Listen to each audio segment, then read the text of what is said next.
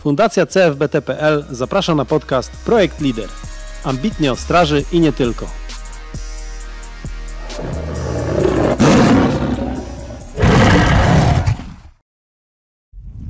Dobrze palona kawa ogień. Kawa od strażaków i dla strażaków. Stanisław Mikulak urodził się 2 stycznia 1937 roku w miejscowości Raki. Okres wojny spędził w rodzinnej miejscowości z matką i starszą siostrą. Ojciec był w niewoli niemieckiej. W czerwcu 1945 roku rodzina przybyła do miejscowości Nowe Kiejkuty, gdzie ojciec założył warsztat kowalski. Wspólnie z innymi osadnikami zorganizował ochotniczą straż pożarną. Od roku 1952 zawodowo i społecznie związał się z pożarnictwem. Jego praca zawodowa rozpoczęła się we Wrocławiu, zaś zakończyła w Olsztynie. W latach 1952-1956 był słuchaczem w oficerskim technikum pożarniczym we Wrocławiu, uzyskując pierwszy stopień oficerski. W kolejnych dwóch latach był zastępcą komendanta powiatowego Straży Pożarnych w Szczytnie. W okresie od 1958 roku do 1978 roku pracował na kierowniczych stanowiskach w Komendzie Miejskiej i Wojewódzkiej Straży Pożarnych w Olsztynie. W roku 1978 powołany został na stanowisko komendanta Wojewódzkiego Straży Pożarnych w Bydgoszczy – a od 1985 roku do 1991 roku był komendantem wojewódzkim w Olsztynie.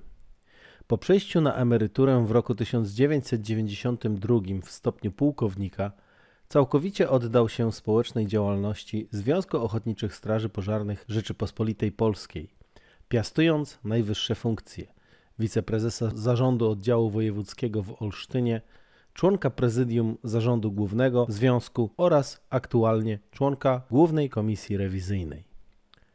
W swej 60-letniej służbie uczestniczył w setkach dużych i szczególnych działań gaśniczych oraz w likwidacji skutków powodzi, katastrof, wypadków i innych zdarzeń losowych. Brał między innymi udział w gaszeniu największych pożarów zaistniałych po 1945 roku. W Szczytnie 21 lutego 1970 roku i 9 grudnia 1972 roku fabryki mebli oraz 18 i 19 lipca 1969 roku zakładów Lenpol. Dowodził akcją gaśniczą szpitala psychiatrycznego w Górnej Grupie koło Grudziądza w dniu 31 października 1980 roku, najtragiczniejszym pożarze w powojennej Polsce. Śmierć poniosło wówczas 51 pacjentów. Uratowano ponad 200 osób. Uczestniczył też w likwidacji pożaru spowodowanego 9 grudnia 1981 roku erupcją ropy naftowej w Karlinie. Za osiągnięcia zawodowe i społeczną działalność odznaczony został m.in. krzyżami kawalerskim, oficerskim i komandorskim Orderu Odrodzenia Polski, złotym i srebrnym krzyżem zasługi, złotą odznaką zasłużony dla ochrony przeciwpożarowej, złotym znakiem związku, złotą odznaką zasłużony dla Warmii i Mazur. Jest niestrudzonym, dociekliwym badaczem historii pożarnictwa na obszarze Warmii i Mazur. Cześć, witam wszystkich w kolejnym dziewiątym odcinku podcastu Projekt Lider. Ambitnie o straży i nie tylko. W tym odcinku moim gościem będzie pułkownik pożarnictwa w stanie spoczynku Stanisław Mikulak. Tego typu wstęp nagrywam po raz pierwszy więc jest to pewna nowość, ale postanowiłem podzielić się z Wami kilkoma słowami na temat właśnie tego odcinka. E, pana pułkownika spotkałem po przyjściu do JRG 1 w 2003 roku i szczególnie zapadł mi w pamięć jeden moment. W 2006 roku podczas obchod obchodów jubileuszu 125-lecia ochrony przeciwpożarowej na Warmii i Mazurach e, między innymi odbywały się wykłady i prelekcje dotyczące różnych e, historycznych faktów z dziejów pożarnictwa na Warmii i Mazurach, ale też właśnie odbył się wykład pana pułkownika, w którym przybliżał on zebranym wówczas gościom różne szczegóły związane z jego strażacką służbą. Wówczas, kiedy wysłuchałem tego wykładu, to bardzo poruszył mnie jeden jego szczególnie fragment dotyczący pożaru w górnej grupie w roku 1980. Był to pożar w szpitalu psychiatrycznym. Bardzo ta historia mnie przejęła i trafiłem wówczas na piosenkę autorstwa Jacka Kaczmarskiego o tytule A my nie chcemy uciekać stąd. Y, mając okazję odwiedzać kolegów w szkole specjalistów pożarnictwa w górnej grupie koło Grudziądza, odwiedziłem m.in. miejsce pożaru. Dziś mieści się tam klasztor y, i też y, widziałem tablice pamiątkowe Podczas tego jubileuszu wydana została książka e, i w tej książce miałem też dedykację od pana pułkownika, której on napisał, parafrazując, to, że w strażackiej służbie należy wytrwać do końca, do granic swoich możliwości, wtedy bilans jest dodatni. Zastanawiałem się często nad tymi słowami przez te wszystkie lata mojej służby i nadal się nad nimi zastanawiam i też chciałbym, żebyście, drodzy słuchacze, również E, pewną chwilę refleksji im poświęcili.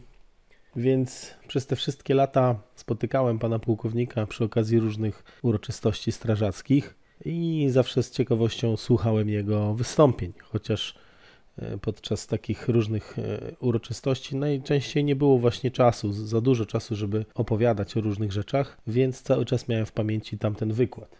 Postanowiłem latem 2023 roku skontaktować się z panem pułkownikiem. Zdobyłem do niego numer telefonu przez znajomą osobę, oczywiście za jego zgodą i poprosiłem o rozmowę. Pan pułkownik nie zgodził się od razu, bo chciał zrozumieć, co to jest za projekt. E, miał już wcześniejsze doświadczenia z wystąpieniami w różnych e, projektach i, i chciał się upewnić, że jest to coś, co, co mu odpowiada.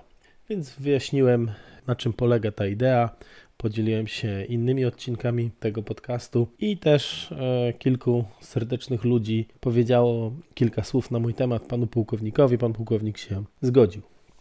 Umówiliśmy się na spotkanie w siedzibie Warmińsko-Mazurskiego Związku Emerytów i Rencistów Pożarnictwa. Pana pułkownika odebrałem z jego domu, przywiozłem do tej siedziby Nagraliśmy ten podcast, następnie odwiozłem pana pułkownika do domu. Miałem zaszczyt zostać zaproszony do domu, poznać szanowną małżonkę, zobaczyć pamiątki, które również na kilku ujęciach zobaczycie e, w tym podcaście, jeżeli oczywiście będziecie go oglądać, a nie tylko słuchać. Podcast został nagrany na początku sierpnia 2023 roku, ale z uwagi na długi wyjazd zagraniczny i liczne obowiązki, które miałem, byłem w stanie ukończyć produkcję tego odcinka dopiero po kilku miesiącach. Cieszę się jednak, że nie towarzyszył temu pośpiech, ponieważ chciałem bardzo starannie e, wykonać e, ten odcinek. Dlatego, jeżeli słuchacie tego podcastu na platformach podcastowych, audio, to zachęcam Was też serdecznie do tego, abyście obejrzeli ten odcinek mm, w serwisie YouTube, gdzie będziecie mogli też zobaczyć zdjęcia z prywatnej kolekcji pana pułkownika i trochę właśnie tych ujęć, o których mówiłem, pokazujących y, różnego rodzaju pamiątki, medale, odznaczenia strażackie w prywatnym domu pana pułkownika. W tej rozmowie starałem się mówić jak najmniej, dużo mniej niż w dotychczasowych nagraniach. Po pierwsze, chciałem dać przestrzeń do wypowiedzi człowiekowi, który ma bardzo bogate doświadczenie i też wielki e, dar przemawiania, mówienia do ludzi.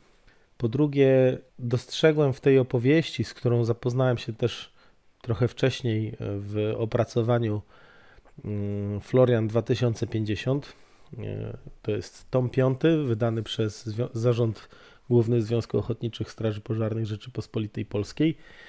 E, dostrzegam w tej opowieści różny, no, dużo różnych zagadnień, które warto e, uwypuklić, ale też e, poczułem, że lepiej będzie, jeżeli każdy z Was, słuchając tego podcastu, sam dojdzie do pewnych swoich przemyśleń, nawet jeśli będzie to wymagało kilkukrotnego wysłuchania tej rozmowy. Na pewno rozmowa ta jest na tyle ciekawa, że wiele z Was wielu z Was zdecyduje wysłuchać jej kilkukrotnie. Ja z pewnością należę do tego grona. E, te no już ponad 70 lat historii pożarnictwa to wielka skarbnica wiedzy, mądrości, doświadczenia, mm, perspektywy, spojrzenia przez pryzmat przestrzeni wielu lat, ale też pewnej indywidualnej osobowości, która była no, niejako nieodzownym komponentem tworzącym tę opowieść. Jest to niewątpliwie historia e, inspirująca, pełna licznych, ciekawych aspektów i też bogata w symbolikę. I jest to opowieść o tym, jak pan Stanisław Mikulak stał się nestorem w polskim pożarnictwie. Zapraszam zatem do obejrzenia bądź też wysłuchania naszej rozmowy.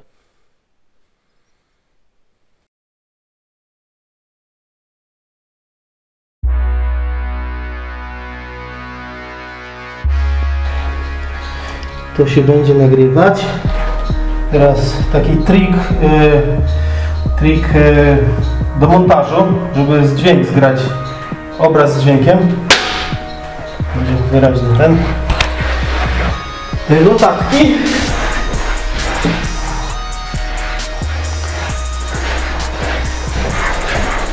Ja niestety nie zdążyłem notatek przygotować w wersji, w wersji papierowej, więc będę z takimi siedział.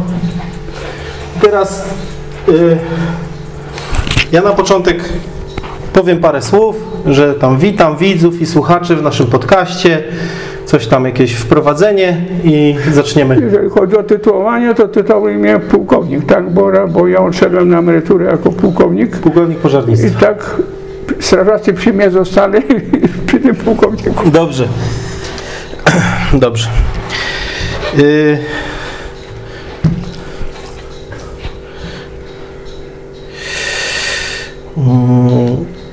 tak myślę, ile nastawiamy się? Godzinę? Godzinę, półtorej godziny? Może być, no. Dobrze. Może być, ja. Dobrze, tam się nagrywa, tu się nagrywa, to możemy zaczynać. Zaczynamy? No. Dzień dobry, witam wszystkich w kolejnym odcinku podcastu Projekt Lider, ambitnie o straży i nie tylko. I w dzisiejszym odcinku mam bardzo szczególnego gościa, E, z którym e, rozmowę chciałem przeprowadzić już od jakiegoś czasu. Jest dzisiaj z nami pan pułkownik pożarnictwa Stanisław Mikulak. Dzień dobry, witam serdecznie panie pułkowniku. Witam. E, jest to postać, którą wiele osób z dzisiejszego pożarnictwa tytułuje mianem Nestora, czyli postać, która ma bardzo duże poważanie, która w historii pożarnictwa zapisała się w wielu ważnych momentach. Chciałem z panem pułkownikiem porozmawiać o przebiegu jego służby, o tym, jakie towarzyszyły mu postawy, wartości podczas jego służby, jak ta służba przebiegała.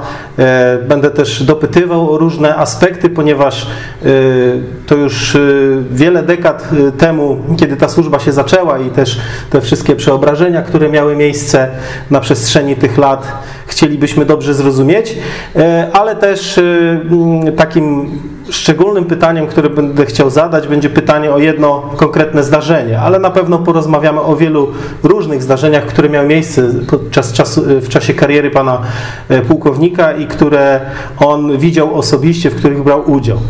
Także dzień dobry, witam serdecznie. Bardzo dziękuję za przyjęcie zaproszenia, za poświęcenie czasu.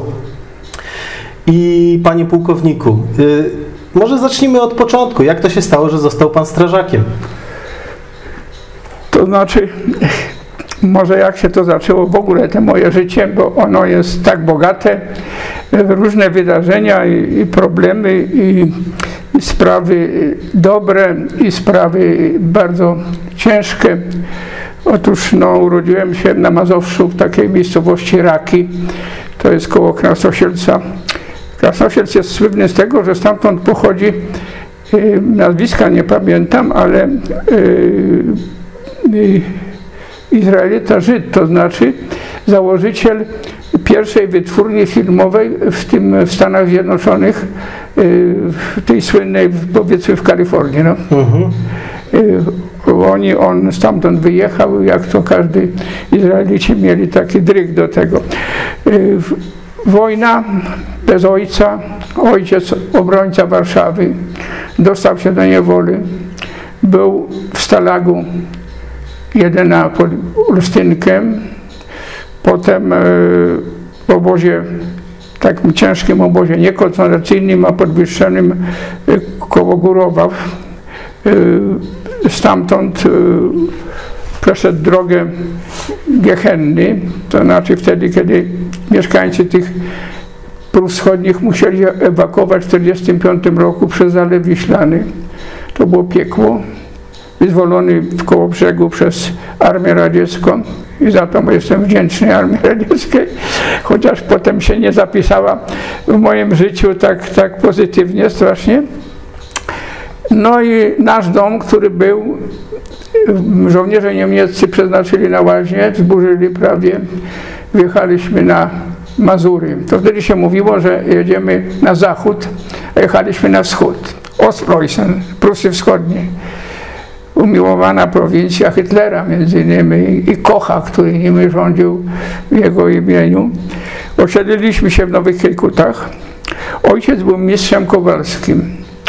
Y, dostał jako osadnik wojskowy kuźnię, dostaliśmy dom, hektar ziemi. I ojciec był przed wojną członkiem Ochotniczej Straży Pożarnej w tych rakach i wspólnie z takim ziomkiem swoim Janem Gołota założyli Ochotniczą Straż Pożarną w Nowych Kiejkutach i tam się zaczęło pożarnictwo. Czy to zaraz oczywiście, po wojnie, tak? tak? oczywiście nie było drużyny młodzieżowej, ojciec był prezesem tej Ochotniczej Straży Pożarnej, ale ja nie, nie opuściłem żadnej zbiórki, żadnych ćwiczeń, o tam jak na zdjęciu powiedzmy jest też i na sikawce i tak dalej i potem y, przyszła, przyszedł powiedzmy y, 50, teraz chwileczkę, to znaczy y, w ogóle na naukę to rozpocząłem, miałem być rolnikiem, chociaż ojciec chciał, żebym był kowalem, ale nie leżało mi to kowalstwo, chociaż to piękny zawód, trzeba powiedzieć, który zginął, a ojciec był takim mistrzem prawdziwym kowalstwem. Y, szkołę w zespole techników rolniczych w Kętrzynie, zrezygnowałem po roku. Y, w 1952 roku na takiej potańcówce strażackiej inspektor powiatowy ze Szczytna, Kazimierz Królak, mówi do mnie, bo Gołota, ten naczelnik mnie powiedział, że jest taki tutaj, powiedzmy, który stary zawsze się kręci w straży i mówi, czy nie chciałbym pójść na szkołę oficerską. Ja mówię, no mogę pójść. Rok czasu nie byłem nigdzie. No to dokumenty skompletowałem i wysłałem je do, do Wieliczki. Wtedy powstawały, w 1952 roku powstały dwa y, technika pożarnicza. To są, to byli, mieli być kadeci pożarnictwa. Nawet mieliśmy mundury po kadetach. Tak się złożyło, że na egzaminie, jak dostałem powiadomienie, to spóźniłem się jeden dzień i było po egzaminach. Hmm. I jak zajechałem w tej szkole, to jest ten ośrodek szkolenia teraz chyba, y, krakowski, i był tylko komendant szkoły, młodszy kapitan wówczas Buczmankiewicz i pani od, od, od matematyki, pani y, Bryl chyba.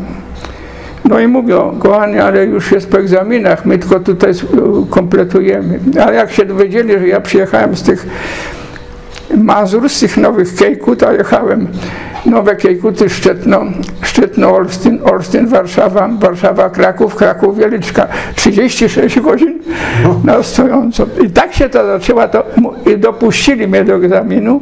Ten egzamin zdałem i w 52 roku we wrześniu rozpocząłem szkołę w oficerem technikum pożarniczym dla górnictwa ono się nazywało, bo komendantem te, te, tego technikum był major Kutlarczyk, główny inspektor górnictwa. 54 nasz drugie technikum było we Wrocławiu. W 54 nas przerzucono do Wrocławia, a Wrocław przerzucono do, do Poznania. Mhm. To taka nagroda za wytrwałość, można powiedzieć. Docenili postawę już. To znaczy chyba ten, po, ten początek właśnie tak się zaczął pozytywnie, bo gdyby nie ta dwójka ludzi, ludzi to prawdopodobnie ja bym wrócił do tych nowych kejkut. Nie wiem.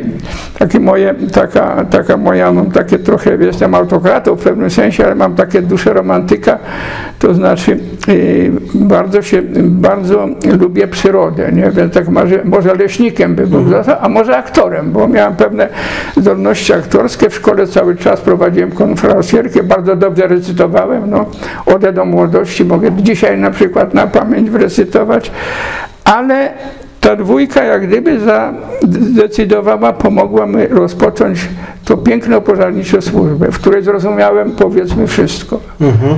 Zrozumiałem potem, że to jest służba związana, e, proszę nie tak, tak może trochę górnolotnie, jestem człowiekiem bardzo wierzącym, chcę, znaczy bardzo wierzącym, ale nie wierzącym ślepo. To znaczy, ja ostatnio przeczytałem prawie wszystkie książki Ratzingera, to jest najbardziej, największy powiedzmy filozof y, chrześcijański y, w XXI wieku, ale cały czas o tamtej też myślę, że służba pożarnicza, a nawet nie jest służbą, tylko jest misją.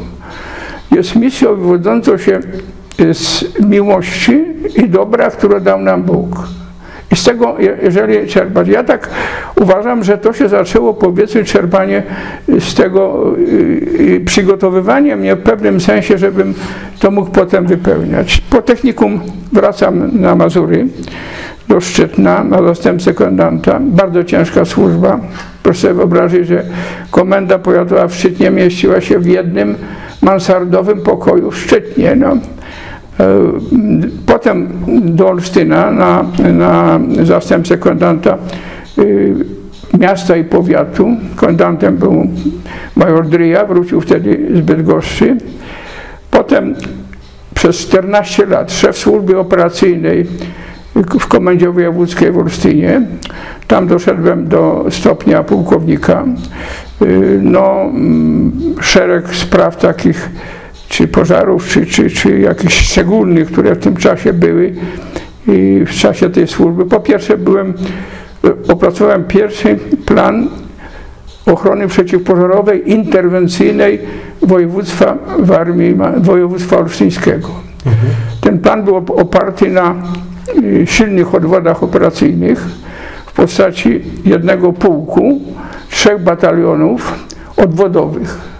Y, one były, to były podzielenie województwa na, na cztery obszary operacyjne i w każdym obszarze operacyjnym było dowództwo obszaru, był batalion odwodowy, no i sztab operacyjny. Także w zasadzie w przypadku dużych akcji to, to dowództwo było z góry określone ten dowódca musiał wyjeżdżać i ci ze sztabu musieli tam znieść.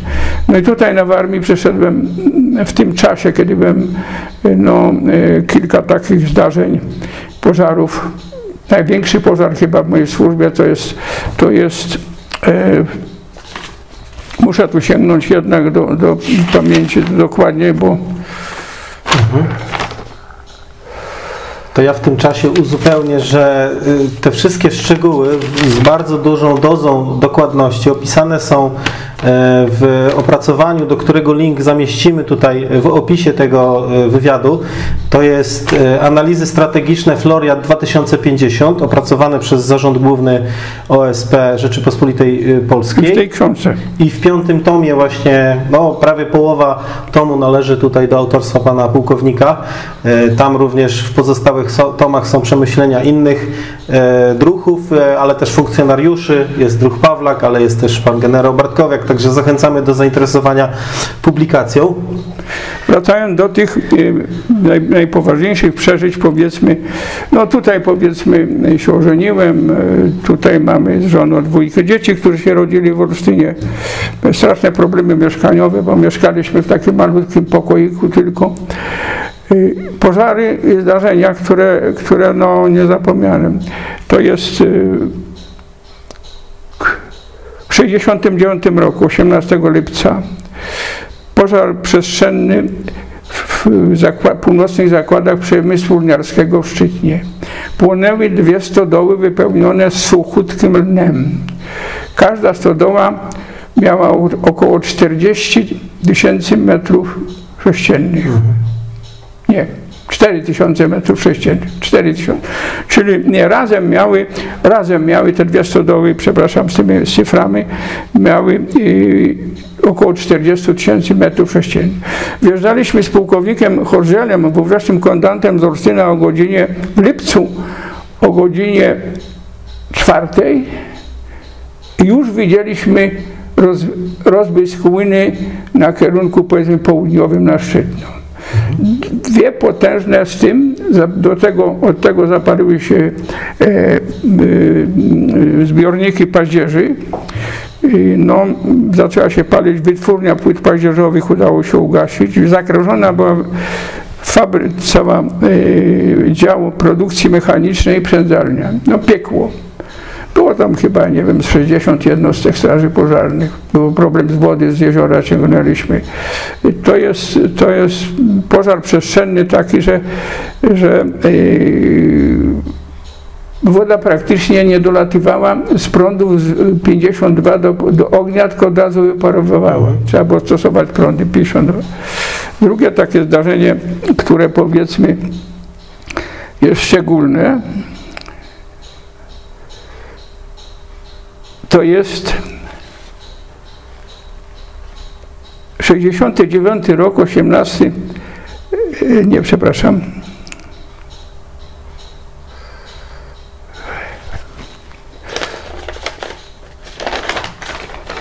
będziemy tu skorzystać. 18 sierpień 66 rok, najbardziej tajny pożar w mojej służbie pożar w głównej rezydencji w Łańsku, rezydencja, w której wypoczywali tylko najważniejsi przedstawiciele władzy PRL-u. Mhm. Komitetu Centralnego, czyli Gomułka i, i powiedzmy kierownicy oddziałów, premier, wicepremier, niektórzy ministrowie. W tym pożarze w czasie obecności Gomułki i sekretarza KCK PZPR Pana Mariewa nastąpiło zapalenie się głównej rezydencji. To było bardzo suche lato. Rezydencja była kryta trzciną. Mhm.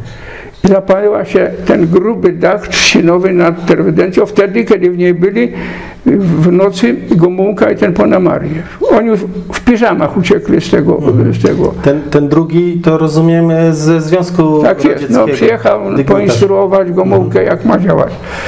Więc Wyjechaliśmy z majorem Drio do tego pożaru, wpuścili nas, bramy otwarte, wjeżdżały ochotnicze straże pożarne. Tak Normalnie tak to było niemożliwe, żeby tam się tak, zbliżyć do no ogrodzenia, prawda? Tam był, tam był yy, dowódcą tego obiektu, bo on podlegał pod z bezpieczeństwa wewnętrznego KBW, był pułkownik. Muszę je znaleźć, bo, bo to jest tak ja Wczoraj jeszcze przeglądałem bo to, jest, bo to jest bardzo ważne takie. To jest te pożary gdzieś mam opisane mhm. już tak pojedynczo, nie? Nie.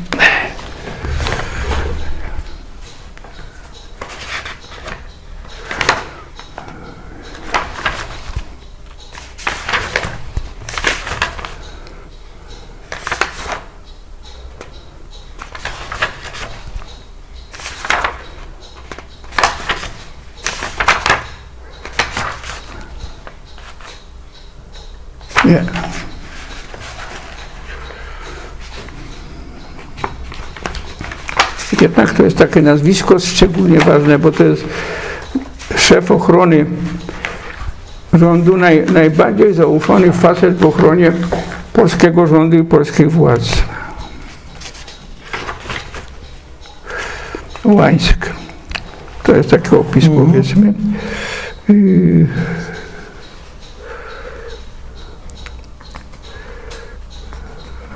Może ja to przeczytam.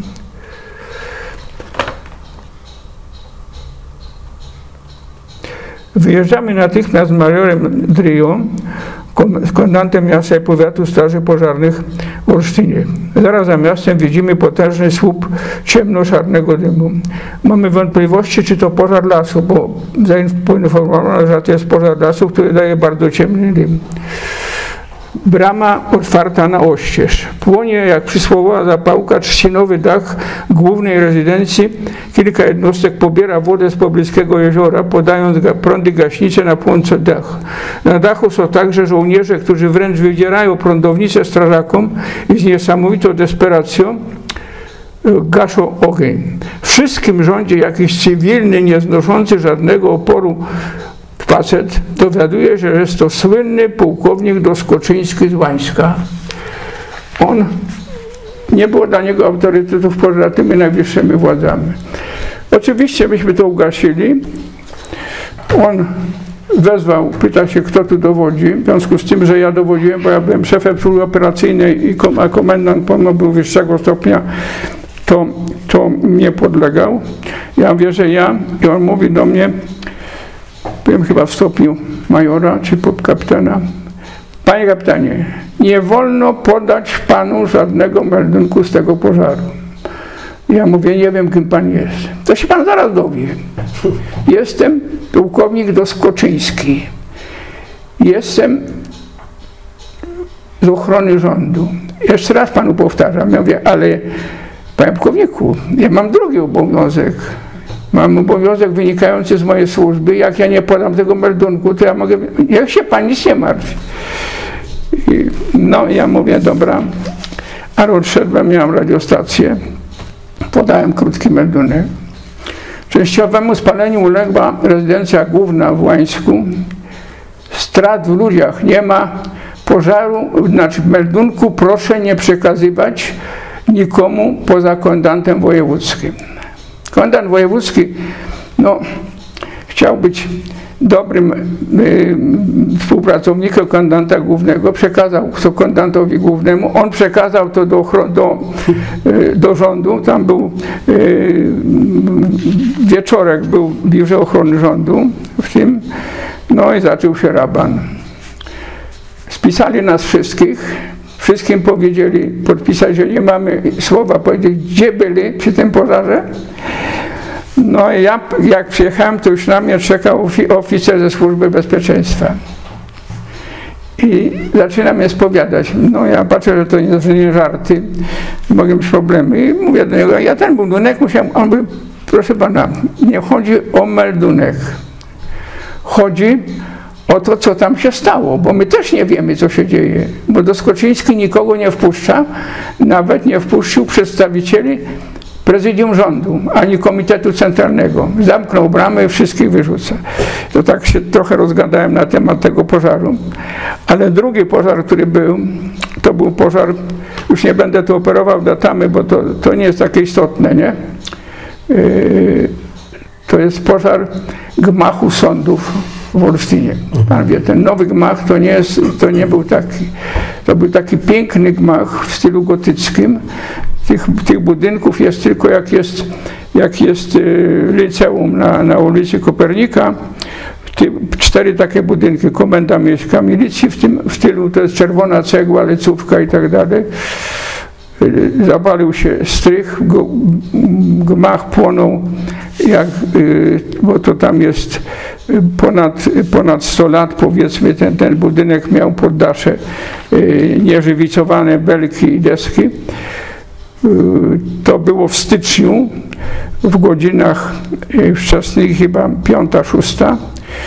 Y, na ulicy Tłum, bo to była niedziela, wody nie było, musieliśmy wodę ciągnąć z Łyny. Proszę sobie wyobrazić, z Łyny powiedzmy, mhm. dwa rezonbery stawialiśmy. Z Ozosu na szczęście w Ozosie mieliśmy rezonberę. No i, i znów taka historia, bo jeszcześmy nie ugasili tego, tego budynku, to już na dole zebrał się komitet wojewódzki, znaczy pierwszy sekretarz komitetu wojewódzkiego, wojewoda, prokurator wojewódzki i zaczęli też ustawiać. No. Prokurator powiedział mi, że wycofał ludzi z drugiego piętra, bo grozi zawaleniem, będę odpowiadał. Ja mnie był Poznysz prokurator, mówię, panie prokurator, to jest moja sprawa. Ludzie wiedzą, jak pracować na stanowiskach, budynkach, które mają stropy drewniane. Stropy drewniane nie zawalają się. Załamują się, trzeszczą, łamną się, zawalają się stropy betonowe, powiedzmy, tak jak w tym było. No, myśmy ten pożar opanowali, bo to było parter, pierwsze piętro, drugie i poddasze. Spaliło się poddasze i spaliła się część drugiego piętra. Problem był w tym, że obok jest areszt śledczy, i obawa, że zacznie się bunt w areszcie śledczym, bo w takich przypadkach w Polsce było, między innymi w Potulicach też było, że, że był pożar i był bunt więźniów. I w części tego budynku była centrala WC. Nie wiem, czy pan wie, bo to jest wysoka częstotliwość, to jest, mhm. to jest w tym czasie, teraz to, to, technika jest inna, była taka, że nikt nie mógł podsłuchać. Telefony WC mieli komendant wojewódzki milicji, szef bezpieczeństwa, pierwszy sekretarz w tym, komendant wojewódzki straży na przykład nie miał tego. I oni stawiali tylko, maszcie obronić ten obiekt od strony tego więzienia i tak dalej. No, to są takie, takie dwa, dwa powiedzmy pożary w tym, w, w, tym, w tym czasie także inne zdarzenia, które były zapamiętania w tej mojej miejscowości Nowe Kejkuty,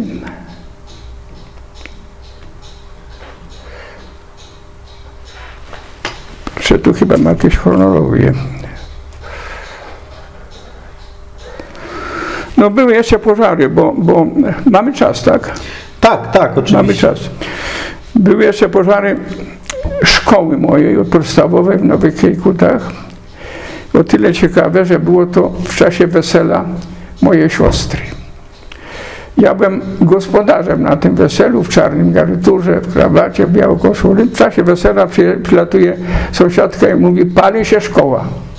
Ja w tym czarnym garniturze, to było wieczorem, idę do tej szkoły, biegnę do tej szkoły, nie pojechałem trabantem, bo miałem trabanta, do tej szkoły, szkoła płonie, bo to była taka litera C zabudowa, szkoła, zaplecze, bo w okresie niemieckim dyrektorzy szkół mieli takie majątki małe, a więc całe gospodarstwo.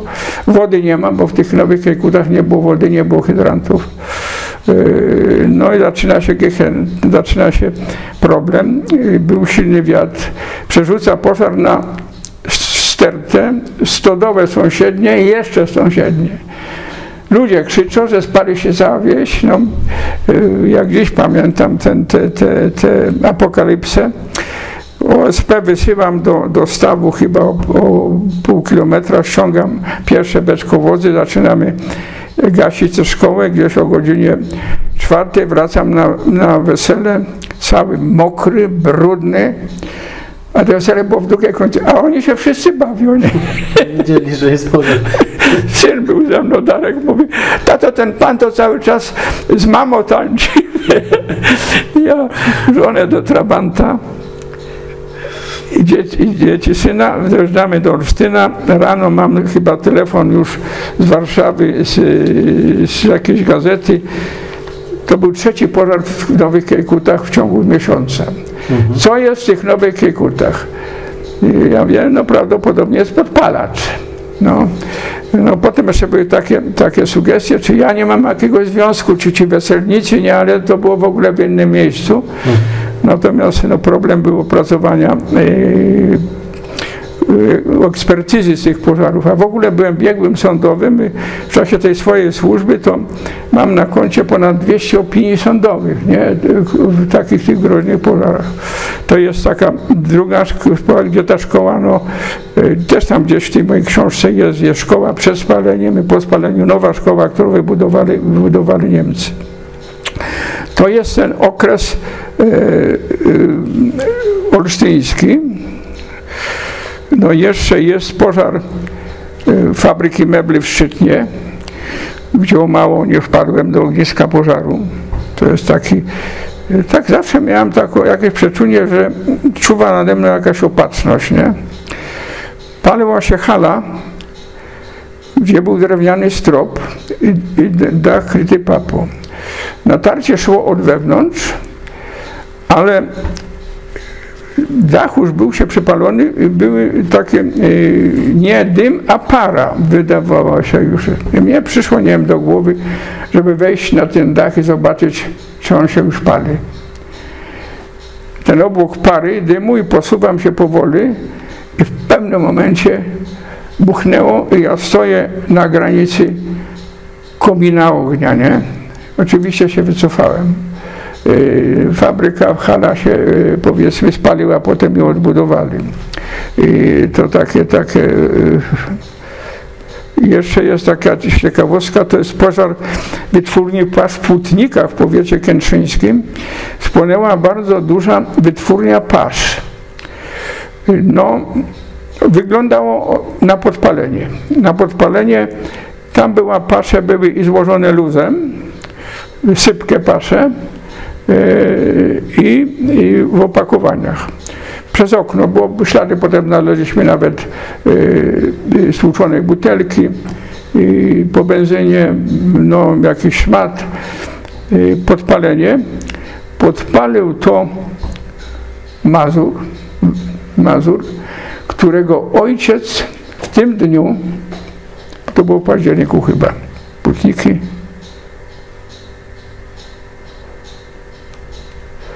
W każdym razie w tym dniu zginął na froncie w 1937 roku. Przecież na tej wojnie zginęli Niemcy też. Tam kilkadziesiąt tysięcy, nie wiem, chyba tam oblicza się na 30 tysięcy Niemców zginęło, Polaków dużo więcej.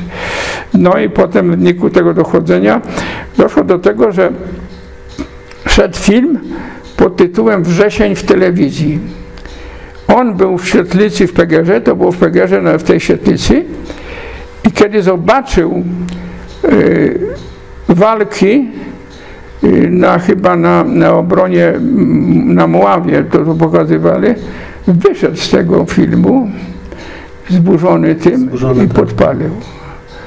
No, potem były także pożary, fakty, pożary zakładów Y, elektrotechniczny w Kętrzynie, nie wiem, czy pan na Farel Kętrzyński, nie, te słynne zakłady, tak. poszła hala, hale, gdzie no, komendant powiatowy y, Binder był w tym czasie komendantem powiatowym. Przyjechałem, był ugotowany kompletnie, działania niewłaściwie podjęte, zanim odciąć halę, bo pożar powstał na poddaszu magazynu, można było odciąć, to zaczęli gasić ten pożar z drugiej strony, popchnęli go na halę i tak dalej. No.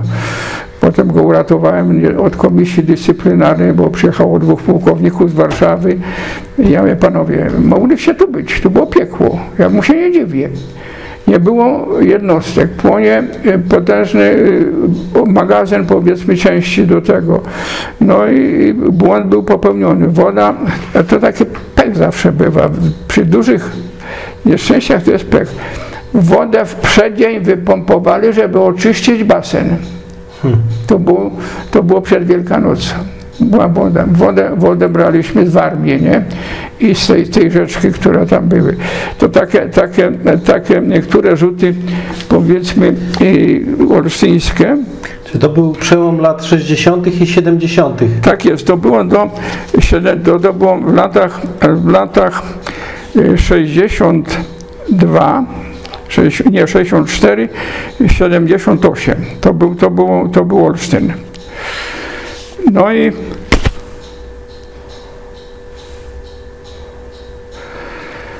A czy technika... W 60, przepraszam, 50, 58 roku zabierają mnie do wojska. Pomimo próbie reklamacji okazuje się, że obietnic, że ci, ci oficerowie po technikum nie będą, ale biorą nam do wojska. Biorą mnie dlatego, że 20 km od Olsztyna jest Marcinkowo i w Marcinkowie jest centralna składnica materiałów pędnych i smarów, największa w Polsce w tym czasie i tam jest nietatowa straż pożarna i nie mają komendanta. Był komendant, ale notabene mój kolega, który zrezygnował z technikum po dwóch latach, bogacz, rezygnował polarnictwa, był w stopniu plutonowego. I tam odbywam dwa lata służby. Składnicy materiałów pędnych, gdzie jest benzyna lotnicza, benzyna zwykła, ropa, smary, czteroetylekołowiu, wszystko co jest związane z materiałem. I tam łapię dużo, dużo, dużo powiedzmy wiedzy na temat tej branży ale tam o mało nie ginę. Zapala się... Kolejny raz. Słucham? To już kolejny raz. Tak. wybudowana jest, tam było, zbiorniki są wszystkie podziemne, kryte kopułami metalowymi przyłożonymi warstwą ziemi. Każdy zbiornik ma obudowę betonową. Taki korytarz gołobetonowy wejście powiedzmy do tego zbiornika na dole jest włas. Oddano dwa zbiorniki, przepraszam, cztery zbiorniki nowe. Te pozostałe zbiorniki na trzech grupach, bo było cztery grupy, to były po 500 tysięcy, a oddano cztery zbiorniki, każdy o pojemności 2 miliony litrów benzyny lotniczej, 2000 metrów sześciennych. W czasie oddawania zbiornika przed eksploatacją, zbiornik jest konserwowany przy pomocy wpompowania do niego ropy i nafty po ścianach, żeby y, nie, nie rdzewiały ściany. I tam wpompowano, nie wiem, no, tysiące litrów, może nie, no, no kilkaset litrów tego tynu rurka odpowierzająca, zbiorniki nie mają powiedzmy nie mają płaszcza wodnego, nie mają zabezpieczenia, nie mają dachów pływających, są na stałe. Rurka odpowietrzająca, zbiornik była u góry wyprowadzona, bo ta przestrzeń musi być wolna, bo temperatura i tak dalej. No i kierownik budowy kazał robotnikowi odciąć te rurki przy pomocy nożówki. On się chciał to sobie usprawnić i odciął to palnikiem acetylonowym. Spadła to na dół, te resztki się zapaliły, pieprznął ten, ten zbiornik wybuchł, otworzył, zrzucił tą pokrywę, to utworzył się jak pasza jakaś, taka, do końca się nie zerwał i z powrotem klapnął. Ten człowiek zginął, czy odniósł rany, który to odcinał? On był na, on, on spadł. Spadł. No. Spadł z tego, potem pochylę. Przyjeżdżamy tam, ja przyjeżdżam Starem 21 GCBA i Lublinem. Kierownik budowy rwie włosy i krzyczy, tam są ludzie. Bo tam byli ludzie, którzy konserwowali. Trzeba wejść. Trzeba wejść i sprawdzić. Nie ma żadnego w moich żołnierzy, który umie obsługiwać, wchodzić w aparacie tlenowym. Jestem tylko ja. To było krótko po tym. Decyduje się założyć ten aparat, ubezpieczyć się linką, wziąć wcześniej do tego korytarza. Dowódca jest obok, pułkownik Tomiak. Wchodzę do tego zbiornika, bo właz był otwarty, jeszcze nie zakręcony, bo byli ludzie. Jest niesamowita temperatura. Jestem w ubraniu żaroodpornym, yy, takie srebrne ubrania były. No. Yy, posuwam się pomału nogami z tyłu linka i w pewnym momencie posuwam nogę i słyszę cholerny huk. huk. Myślę, że zawarł się, myślę, koniec. Jak dziś pamiętam, myślałem, dlaczego już? No i ja miałem, to był, to był 63 rok, 36, 63, no. Staję cicho. Poruszyłem się znów. Tak idę po tej lince, patrzę, a tam jest puste wiadro. W tym zbiorniku echo, jak był pusty, jak byłem, to echo trwało 20 sekund. Przez 20 sekund miało i te wiadro zrobiło ten taki huk, nie? Obeszłem wszystko, główny filar tego zbiornika został odsunięty od met, ale podtrzymywał, wyszedłem. Dowódca mnie chyba mało nie ucałował, wydał mi od ręki dwa tygodnie urlopu w tym wszystkim. To są, to są też z tego okresu, z tego okresu yy, nie wiem, czy dalej kontynuować, bo to jest... Yy, bo możemy przejść y, do, do jest tego... Jeszcze, mhm. Jeszcze jedna, jedna yy, taka ważna rzecz, to jest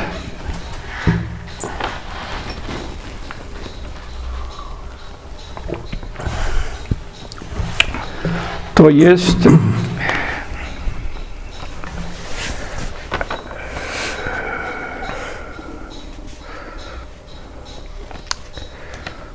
Tamara. Tamara. Hasło Tamara. Tamara to był specjalny pociąg przewożący wypalone paliwo jądrowe z NRD do Rosji, do Związku Radzieckiego. Tajny. Tak. Pojemniki w kształcie takiego, takiego obłym, ołowiane, olbrzymie, o bardzo dużym, jak ten pociąg jechał, to tory się oginały gdzieś 10 centymetrów, jak to szło. I to szło tak mhm. tak przez Polskę. od zachodu, od zachodu, od NRD przez wschód. U nas on przychodził właśnie do, do z e, Brodnicy do Działdowa, z Działdowa do Niedzicy, z Niedzicy do Muszak i z Muszak szedł na teren e, Białostoczyzny. Tam jednostka wojskowa Tak. była. I on był ekskortowany przez kompanię pożarniczą, kompanię milicji obywatelskiej i tajniaków. Wszystkie drogi obok były za, za tego zamknięte, dopóki on nie przejechał. No i chyba za trzy razy powiedzmy y, to, tymi kompaniami tam dowodziłem, powiedzmy jak to było. Nie wiem jakby to wybuchło, ale odjechał, ale taka, taka nazwa powiedzmy ciekawa. I to był ten okres olsztyński. W 76 roku trafia mi się okazja, wyjeżdżam do Stanów Zjednoczonych. I też taka ciekawa rzecz, bo jako szef służby operacyjnej byłem dopuszczony do spraw tajnych, nawet specjalnego znaczenia. Ale zaufał mi wojewoda Rubczewski, komendant wojewódzki, podpisali dwie wizyty w ambasadzie amerykańskiej.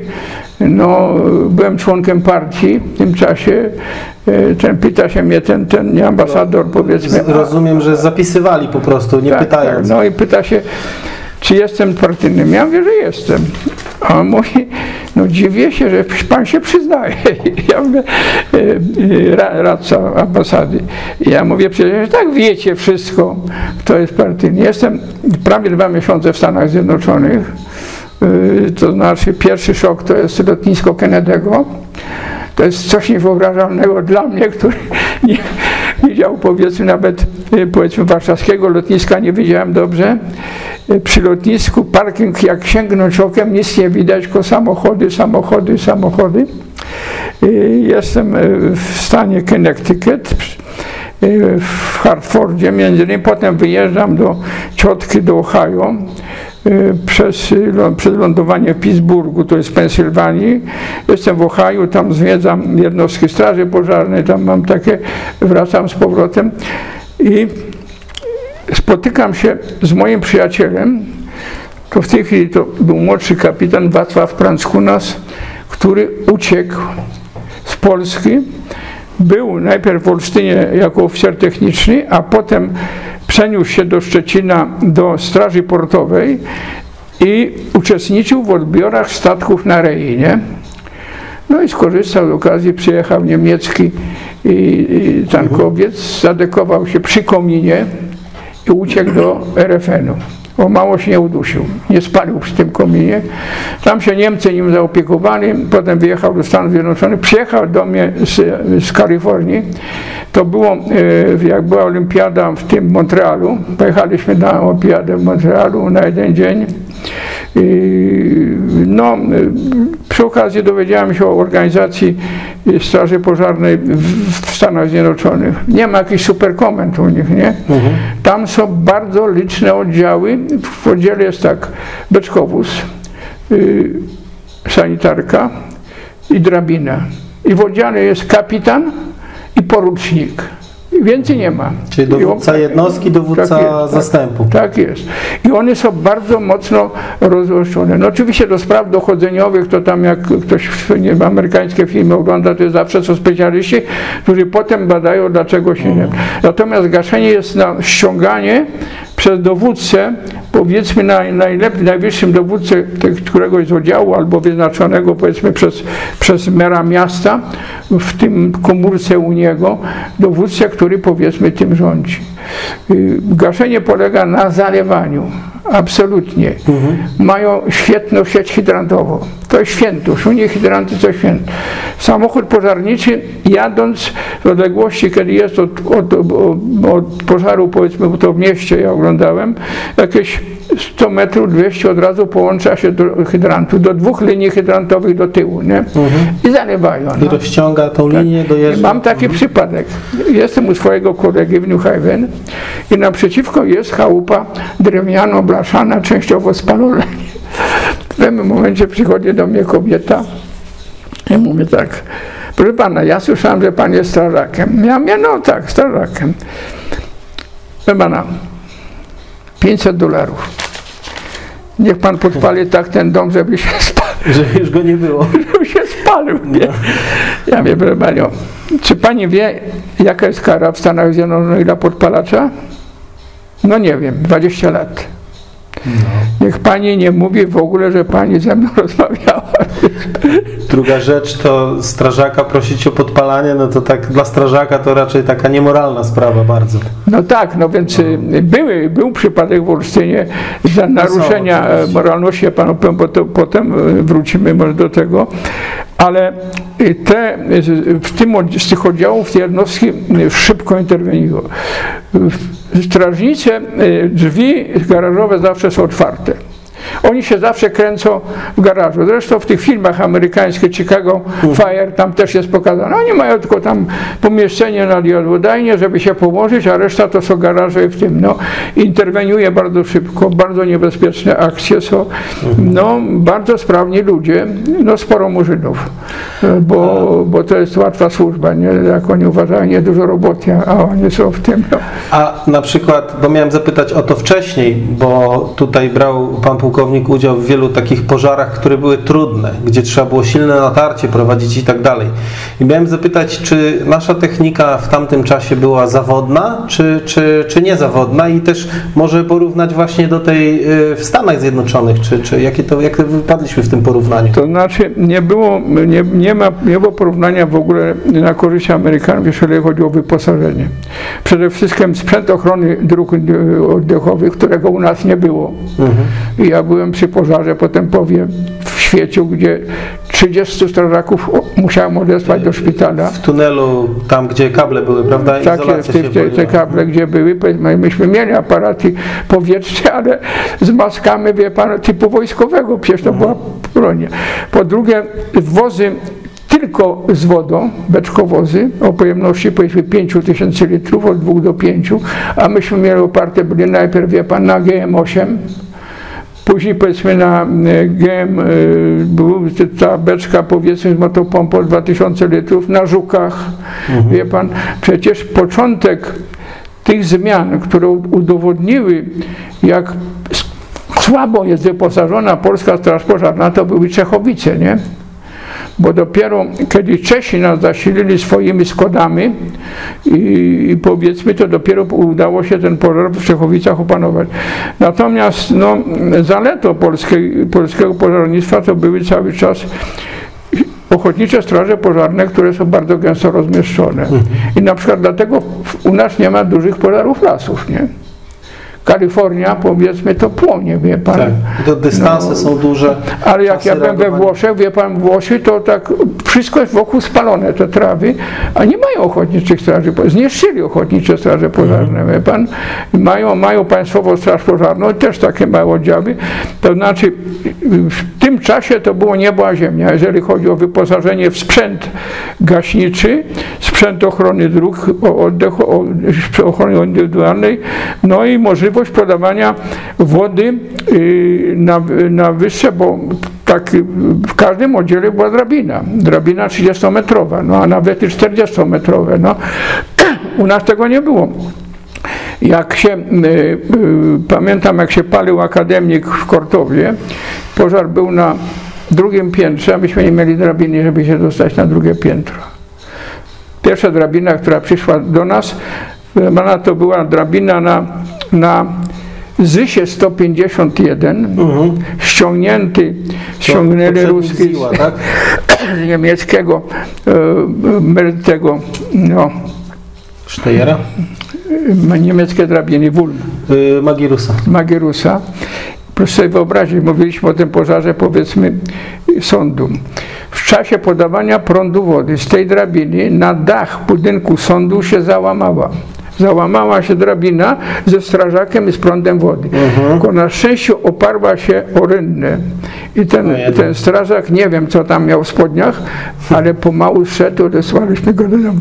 Takie były porównania. Natomiast OSP, no biedne OSP strasznie, bo to najpierw były sikawki, wie pan, czterokołowe, to jeszcze pamiętam jak to używali, nie? Tak. Pompowane. Szkoda, że poniszczyli, bo to teraz za taką sikawkę to by dostał dobry samochód. Potem przyszły żuki, stary 20 GM, no były z demobilu. My tutaj w naszym zawodówce mieliśmy nie było beczkowozu. był Ford, ósemka, 8 y, i Bedford. Bedford z autopompą z przodu. Z przodu piękna autopompa, ale bez wody. Był cały problem, cały problem. Pierwszy problem zażegnania wody to wtedy, kiedy zaczęliśmy wprowadzać, ja w Bydgoszczy, pierwsze CN 20 tysięcy litrów, nie? To pozwoliło uspokoić się dowódcy, bo tak to przyjeżdżał i nie miał szans podjęcia skutecznych działań ratowniczych. Jeżeli woda była blisko, to tak. Stąd te, te, te pozycje takie wyszły wtedy. Pozycja ognio, ogniowa, wodna, ogniowa, wężowa i wodna. Wężowa i wodna. O to tak. pozycje wodne zawsze się musiało e, tak. bardzo zadbać, żeby były do opłacenia. No. To, to jeszcze jak ja się uczyłem, a nawet potem jeszcze uczyłem następnych y, strażaków w ośrodku szkolenia w rok, po roku, dwuty, znaczy zacząłem służbę w 99, y, 2000 wczesnych latach e, uczyłem, to jeszcze na podręcznikach e, pana pułkownika Piotra Bielickiego, w którym te no tak, no tak, tak. jeszcze były używane hasła. A Bydgoszcz to rok 78. Już ja się tak? kończę, bo kończę służbę w Olsztynie pożarem Ludwika. Mhm, dom handlowy. Dom handlowy Ludwik. Pożar, no nieduży obiekt, ale masa chemikali, masa w tym. Y, Dowódca, który tam był, trochę stracił y, głowę. Y, To chyba pułkownik wojny wówczas. Dobrze go wspominam bardzo, niech mnie nawiedza. I ten, i do mnie dzwoni, kon- a ja już byłem przygotowany od 1 kwietnia, yy, bo to była Wielkanoc. Drugi świąt Wielkanocy. Też no taki w tym. Yy, yy, dzwoni do mnie pułkownik Hordziel, czy bym nie pojechał, nie, uspoko- nie uspokoił sprawy. No. Mówię, dobra, panie, ale ja mówię, panie pułkowniku, ja już jestem Bydgoszczy, no. Tylko nie chcę jechać 1 kwietnia, żeby nie mówili, że na, na prima aprilis, nie?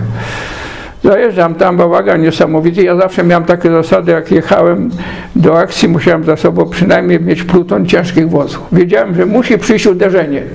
Przyjeżdża nowy dowódca, musi mieć co za sobą, bo inaczej to będzie razem z tym płakał, który nie, nie dał rady. No i te gaszymy, to tam, ten, tam były te szklane e, popalone, to z działek przyłożyli se CL, czy powiedzmy 315, ale tam właśnie pierwszy przypadek naruszenia moralności strażackiej. Mieliśmy wówczas w Straży Żołnierzy, junaków. Mhm. Tam był magazyn kryształów. Zaczęli junacy prawdopodobnie z milicji wynosić te kryształy do swoich samochodów. Tylko nie, mieli takich dużych. No i nasi podpatrzyli i zaczęli te kryształy wynosić. Tutaj przyjechała potem policja, zabierała, aresztowania były i tak dalej. Jedyny przypadek powiedzmy, który był w tym. No i po tym y, już w 78 roku y, kończę, w międzyczasie kończę Wydział Prawa Administracji Uniwersytetu Warszawskiego. Jestem jedynym oficerem w województwie, który ma wyższe pełne wykształcenie, bo był jeszcze pułkownik Groba, ale on uciekł do Gdańska. Y, Nie widzę swoich, swojej perspektywy na przyszłość w Olsztynie.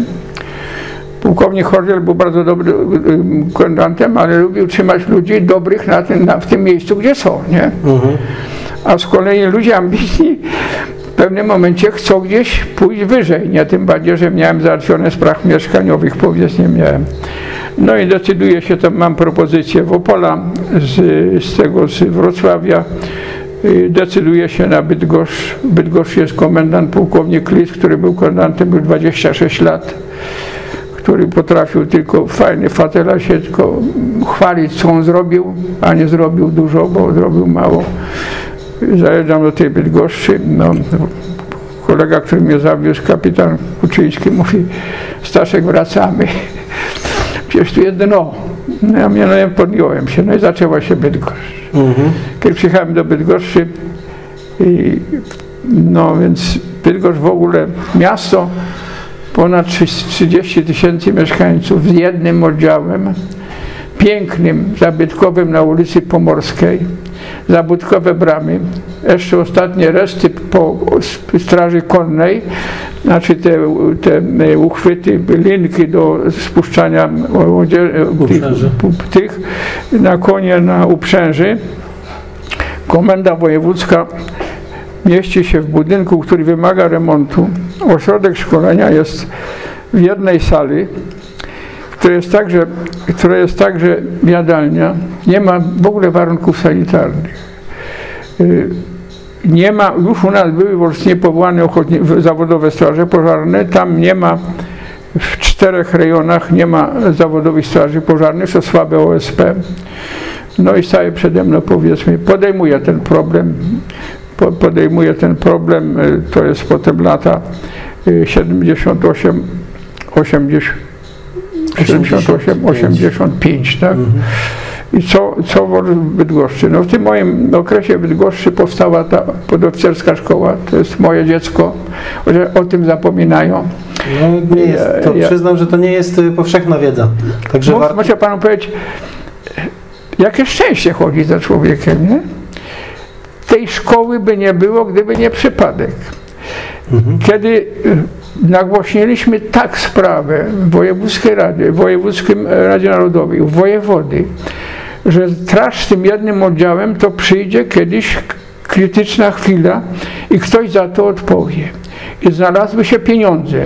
Pieniądze na inwestycje prawdziwego zdarzenia i wojewoda mnie wzywa i mówi pułkownik, słuchaj, dostaniesz te pieniądze z remontu, będziemy kombinować. Nie wsadzimy do planu inwestycyjnego, ale dam ci pieniądze, ale musisz załatwić, ten obiekt może wybudować tylko przemysłówka. Nie żaden peberol, nie żadne budownictwo miejskie, wiejskie, tylko przemysłówka, bo w międzyczasie przygotowałem pełną dokumentację na ten oddział, pełno już. Przygotowałem, ryzykując, zapłaciłem. Przemysłówka bydgoska jest bardzo silna.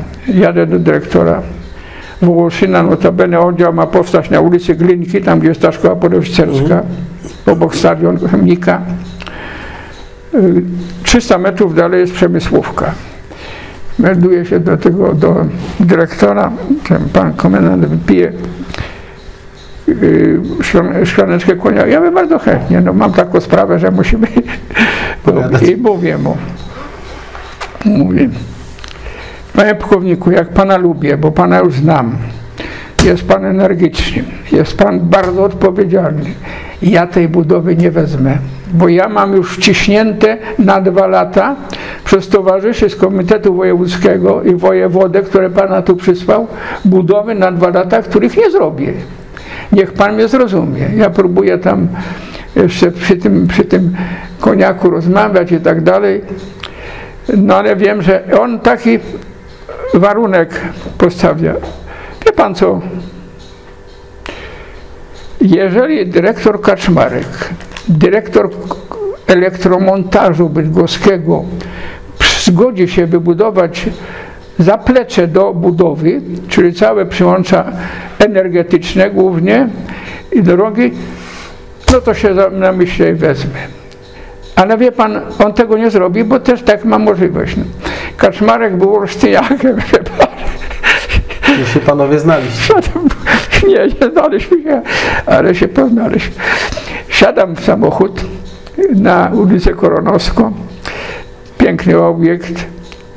Ten, przyjmujemy oczywiście. A, Olsztyniak było nas trzech takich dobrych, to znaczy on i ja, jeszcze był generał Zaleski, który był tutaj szefem sztabu, a potem był tym wojewódzkim szefem, jak wprowadzono stan wojenny, musiał stąd uciekać, nie. Ja mówię, ale mam sprawę. No to sprawę musimy omówić przy małym koniaku. Ja mówię, dobra, omawiamy. Bydgoszczy wszyscy ci dyrektorzy mieli centralki z, głoś, no, z urządzeniami głośno mówiącymi, nie?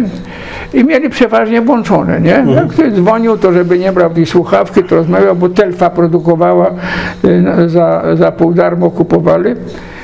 I ja mu mówię, yy, zaczynam, zaczynam rozmowę, nie?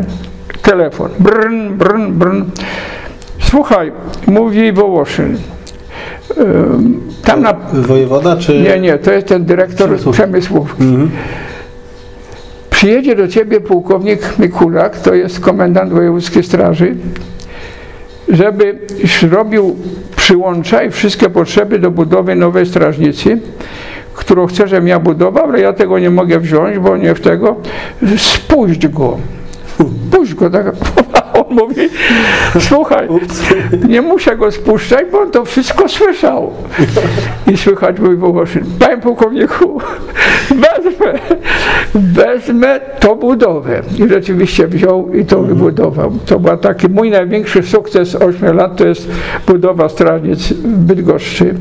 To jest rozbudowa komendy wojewódzkiej w Bydgoszczy, budowa oddziału też na y, drugiego w tym, budowa strażnicy w Świeciu, w Mogilnie, y, rozbudowa strażnic w Chojnicach i w Żnienie i wybudowanie około 20 strażnic w ochotniczych strażach pożarnych w siedzibach gmin. Mhm. I ja po y, siedmiu latach w tej Bydgoszczy zastanawiam się, że ja już nie mam tu co robić, nie? Mhm.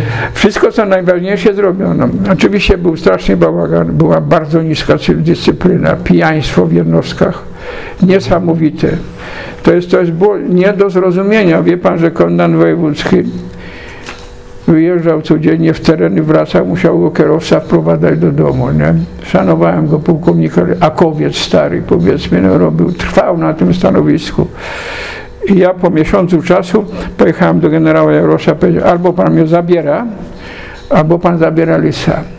Bo wtedy był pan zastępcą jego. Tak, tak. No. Mhm. Dobrze, bo objeździłem całe województwo. Tak. Miałem Fiata do dyspozycji. Przygotowałem y, plany i swoje, nawet tu mam powiedzmy y, do dziś przechowane wystąpienie, jak zostanę komendantem wojewódzkim, co zrobię, nie? Mhm. To jedna sprawa to jest sprawa dyscypliny, druga sprawa to przygotowania i naboru kadry, i przygotowania odpowiedzialności tej kadry. Przychodzili do mnie ludzie oficer powiedzmy przychodzi do mnie i ma za zadanie coś opracować. On mówi, przynosi mi opracowania nie nadające się do wcielenia do życia, głównie powiedzmy w sprawach operacyjnych szkoleniowych. Ja mówię, to się nie nadaje. A on mówi, ja inaczej nie mogę. Panie Bogu, ja inaczej nie mogę. Ja mówię, słuchaj, mam dużo czasu po południu, zostaw, to ja to opracuję. Wzywam go za trzy dni i mówię, masz, masz to opracowanie, drugi raz już nie, nie pomogę ci. Drugi raz to cię zdegraduje. Albo bierzesz pieniądze, jesteś na stanowisku szefa służby operacyjnej i masz rozpracować system, albo nie, albo się nie nadajesz. No, no i tam potem Czyli Potem, tego brakowało? Tak, tak, brakowało kogoś, kto, kto musiał. Wyprowadziłem mi kadrę i tak dalej. Musiałem zastępcę wyrzucić jednego, który powiedzmy się wdał w, handle, w handlem srebrem z, z NRD. Mhm. Bydgoszczy takie sprawy Poza to y, z reorganizowaniem ochrony przeciwpożarowej, po, po, poza y, powiedzmy y, zdobyciem jakiegoś takiego autorytetu u, u wojewody, powiedzmy głównie, tam był PSL-owiec. Tam było tak na przykład, że jest pożar w ZNTK. Jestem przy pożarze w nocy karnawale, pamiętam, w tym, tym Moro, bo to Moro mieliśmy. Na kolei, tak? Tak, tam na kolei. Tam był ZNTK, który naprawiał motowozy. Już nie były parowozy, tylko motowozy ze zbiornikami mazutu pod spodem e, tego motowozu. Minus 18 stopni. Ludzie, facet mi przymarł strażak na drabinie, wie pan, jak podawał wodę, poleciało przez. Woda zamarza, nie? Muszą iść, cały czas musi być woda, bo inaczej to nam zamarznie. I przyjeżdża dwóch panów w kożuszkach i mówią, panie, panie, panie do mnie, panie, co za węże wy macie, że, że wam sikają? Ja wiem, że mamy dobre, bo jak sikają, to znaczy, że w nich jest woda. A kim panowie są? Jeden mówi, ja jestem prezydentem miasta, a drugi mówi, ja jestem sekretarzem partii w mieście. Ja mówię, ale widzę, panowie mają bardzo ciepłe ubrania, tak, kożuszki, a patrzcie, ja jestem cały przemoknięty. Proponuję, pójdziemy razem tam, jak mówi się, że tak. Ale nie, ale co się pan denerwuje? Ja mówię, nic denerwuje. Aha, był trzeci, był dyrektor. A pan, panie dyrektorze, przygotuję w przeciągu pół godziny gorąco herbatę i jakieś kanapki dla moich ludzi. Mhm. Oni odeszli, za chwilę poszli, ja zachodzę, siedzę w gabinecie. Panie pułkowniku, się pan tak nie denerwuje. Ja się muszę denerwować. Co wy tu wstawiacie jakieś swoje władze, powiedzmy, w tym. A dyrektor mówi, już poszły kanapki, już poszły dla, dla strażaków. No. I ten autorytet trzeba było tam wyrobić. Ale ja miałem takie zwyczaj, że jechałem na zakład pracy sam, powiedzmy, polonezem albo, albo Wołgą. Miałem przepustkę specjalną, wjeżdżałem, pokazywałem tym, tym strażnikom, stawiałem Wołgę i chodziłem po zakładzie. Na przykład Telfa, El, Eltra, y, Polon, to wszystkie te zakłady, ale pamiętam, chyba to było w Telfie. I po pewnym czasie przychodzę do sekretariatu i mówię, że chciałbym się zobaczyć z dyrektorem. No, wszedłem zakład, duży zakład, chyba trwało ze dwie godziny. Tam patrzę gdzieś sala, gdzie jest napis palenie zbronione, pety leżą na, na posadzce. Pan. E, mówi, y, a kto? Ja mówię, komendant wojewódzkiej straży, pułkowniku. No i dyrektor, tak, tak, proszę panie pułkowniku. Panie dyrektorze, zwiedziłem pana zakład. To nie kontrola. Nic panu to nie zostawię.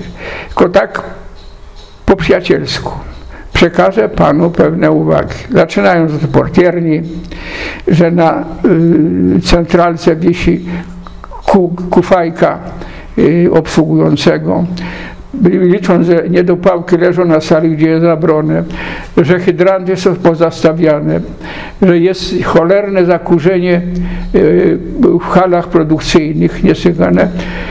Niech pan to rozpatrzy, bo jak przyjeżdża moja służba, przyjadą po pewnym czasie, e, to będzie pan miał problemy. I to wytworzyło taką dużą atmosferę współdziałania z dyrekcjami. To samo z dyrektorami wydziału. Mhm. Odwiedziłem wszystkich dyrektorów wydziałów w Urzędzie Wojewódzkim. Przedstawiłem się z nimi i oni się dziwili. No, po co komendant wojewódzki do nas przychodzi? Ja mówię, dobra, ale masz, masz rozumiesz tam takie inne historie. Jeżeli chodzi jeszcze o Bydgoszcz, no to poza górną grupą, która jest takim pożarem koronnym w mojej służbie, o, który, o którym trudno zapomnieć, nie wiem ile mnie lat skróciła, to jeszcze ten pożar w ZNTK-u to jest taka, taka, taka sprawa bardzo istotna. Taki pożar na działkach, gdzie w altarce spaliła, spaliła się rodzina. Rodzice i czwórka dzieci. Pamiętam, gdzie, gdzie był. Yy, w tym yy, gdzie, gdzie strasznie było to wszystko w tym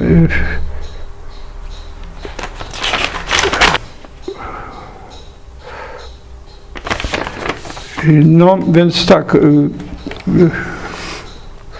ten pożar ZNTK, o którym mówiliśmy pożar y, zakładów obuwniczych Kobra gdzie hala spłonęła prawie całkowicie też, powiedzmy, no taki ten, ten ciężki bardzo.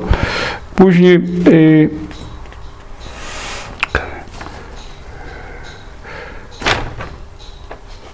jeszcze coś mi tu umknęło z tej Bydgoszczy. Ale to jeżeli chodzi, no oczywiście Górna Grupa i Karlino, nie? To, to, jest, to jest osobna, osobna sprawa. No. W tym y, y,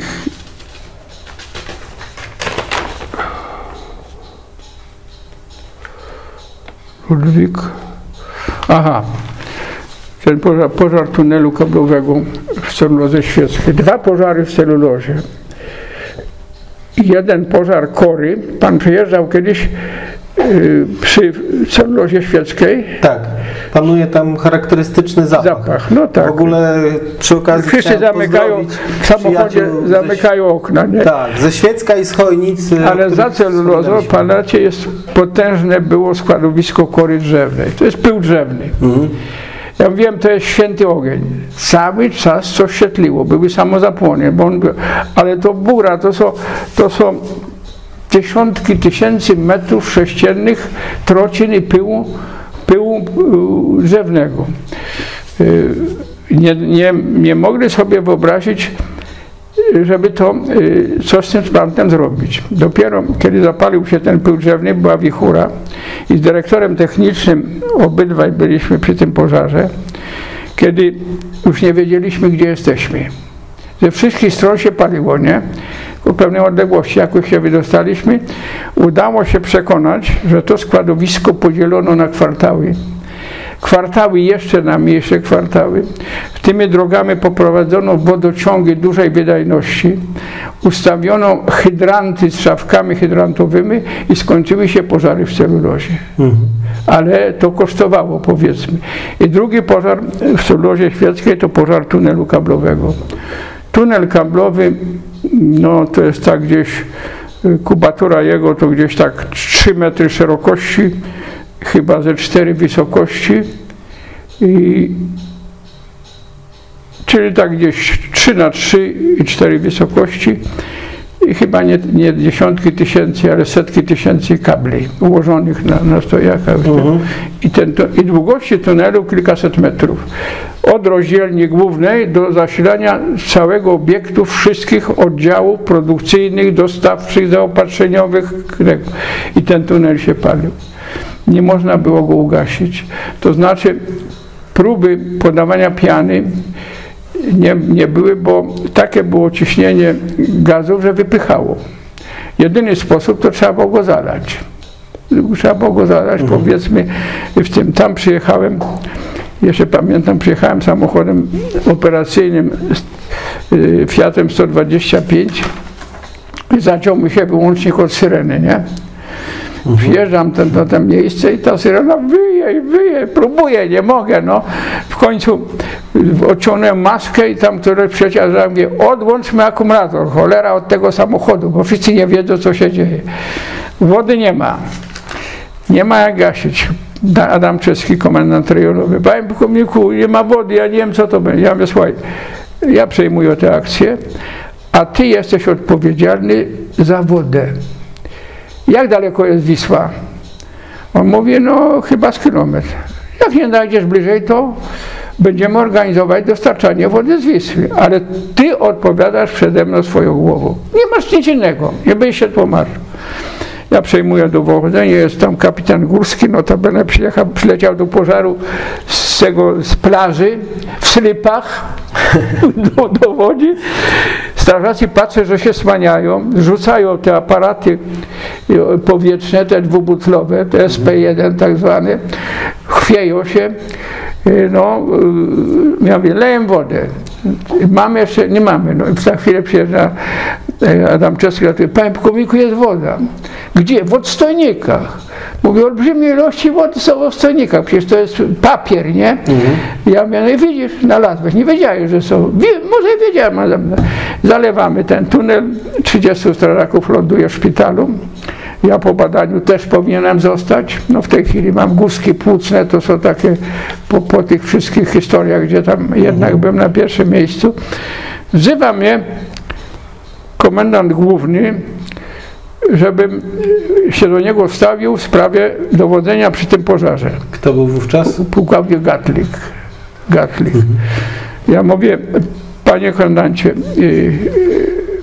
30 y, y, moich ludzi jest w szpitalu, ja powinienem być, ale nie, ale jutro u pana się melduje. Nie musisz, ja wiem, melduję się, bo widzę, że pan coś nie rozumie.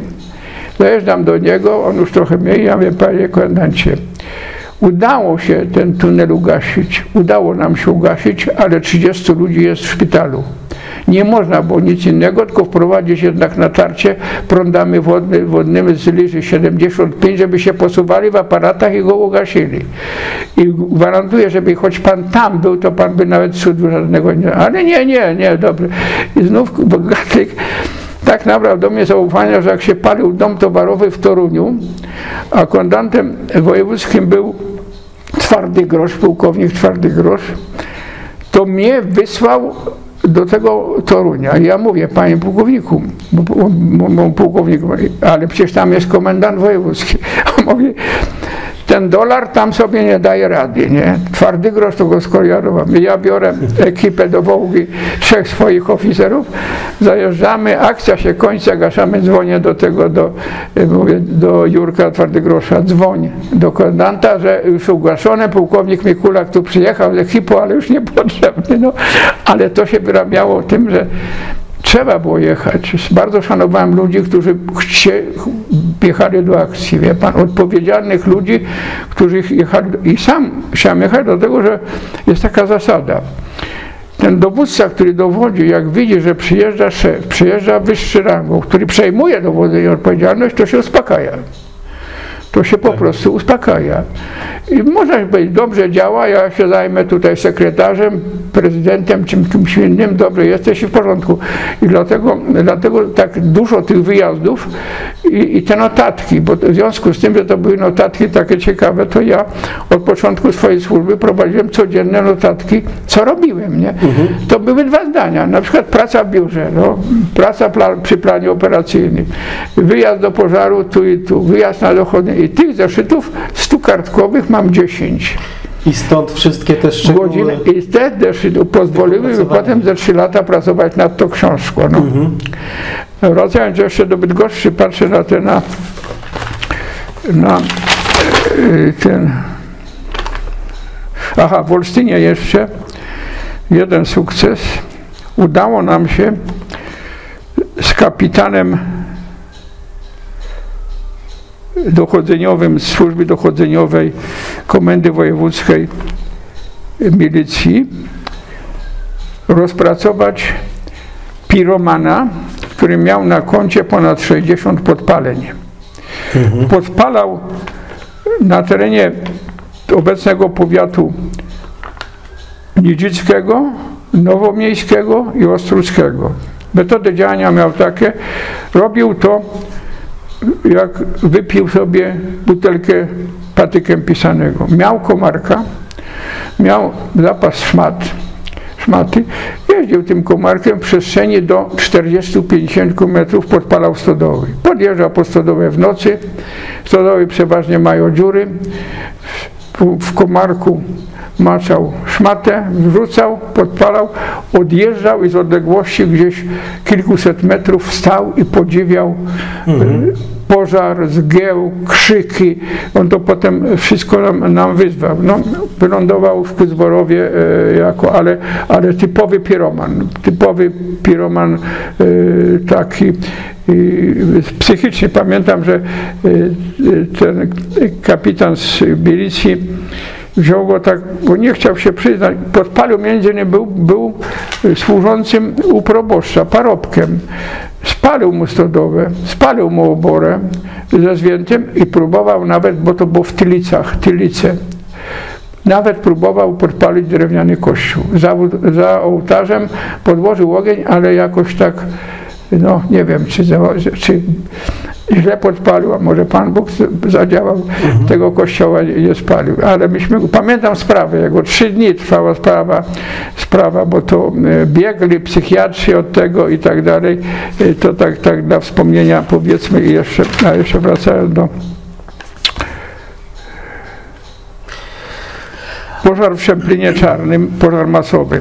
Pół wsi się spaliło w 1973 roku e, w sierpniu po wyładowaniu atmosferycznym. Hmm. Drewniane budownictwo, kryte strzechą. No to było, chociaż to był 73 rok, ale jeszcze powiedzmy to było albo, bo wtedy był modny potem eteryt, nie? Kto, kto miał PZU wypłacało pieniądze na eternych. I było takie dziwne, jak zajeżdżamy tam, pali się powiedzmy z jednej strony wsi i zaczyna się palić z drugiej strony wsi a burzy już nie ma. Odległość jest kilkadziesiąt albo kilkaset metrów, nie? Mówię tam przerzuty ognia i tak dalej, wiatr. No ja tam, powiedzmy, to się wszystko tam uspokoiło, ugasili i patrzę, że nie ma wcale jakiegoś uratowanego mienia przy spalnych budynkach. To było w sierpniu, to były takie opóźnione żniwa, idziemy, ja patrzę w, w, w tych ładzie zboża, żytach, wyniesione rzeczy. Jak czytam, paliło się od tego i burzy od tego, to reszta, czyli pewna część tej wsi skorzystała, wyniosła najlepsze mieli z dobytku i podpalali sami te swoje drewniane chałupy, żeby dostać potem odszkodowanie i żeby dostać eterit na pokrycie powiedzmy tych budynków. No, też taka No, Ciekawa historia. A czy w tamtych czasach y, była jakaś świadomość y, taka jak dzisiaj jest, też, też ona dopiero się rodzi, że dym jest tak bardzo szkodliwy dla zdrowia strażaków, bo dzisiaj wiemy, że tak wielu strażaków umiera na różnego rodzaju nowotwory. To szczególnie wśród y, emerytowanych strażaków na pewno widać, a, a, a wówczas Nie. nawet I nie, powiedzmy, ta sprawa, ta sprawa chyba tak na dobre dopiero wyszła w Państwowej Straży Pożarnej, tak uważam. Y, Sprawa psychologów, sprawa y, badań tych, tych pulmonologicznych. No ja się leczę już od trzech lat na guzki w płucach, nie? To nie jest gruźlica, to nie jest rak, to jest zaatakowanie środka, środka płuc. Nie było sprzętu. Bardzo zła odzież ochronna, bo odzież ochronna, to były te, te, te, te e, wojskowe powiedzmy no. te, te e, ubrania. Ubrania żaroodporne typu z aluminium powiedzmy, czyli to były pojedyncze w dużych jednostkach. Mhm. No nie było, nie było takiej opieki, ja nie wiem jak się w tej chwili z opieką lekarską, jak ona wygląda, bo, bo ja patrzę od strony takiej, że ja już tam mam te badania mam cały czas, ale natomiast muszę powiedzieć, że była dobra atmosfera w, w, w jednostkach, nie? Mhm. I była jakaś taka niesamowita koleżeńskość. No.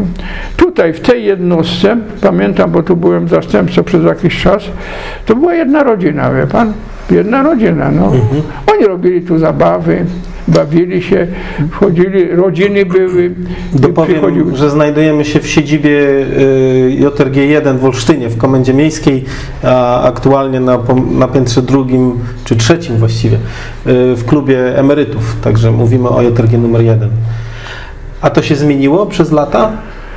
To się zmieniało, pomału się zmieniało. E, Ponadto kadra dowódcza no, nie była dobra, bo przecież to była kadra po, po tych szkoleniach takich, e, powiedzmy, jak oficerów politycznych, oficerów tam, tam rok czasu, dwa lata czasu, powiedzmy, nie było kadry, no nie było kadry, taka prawda. No.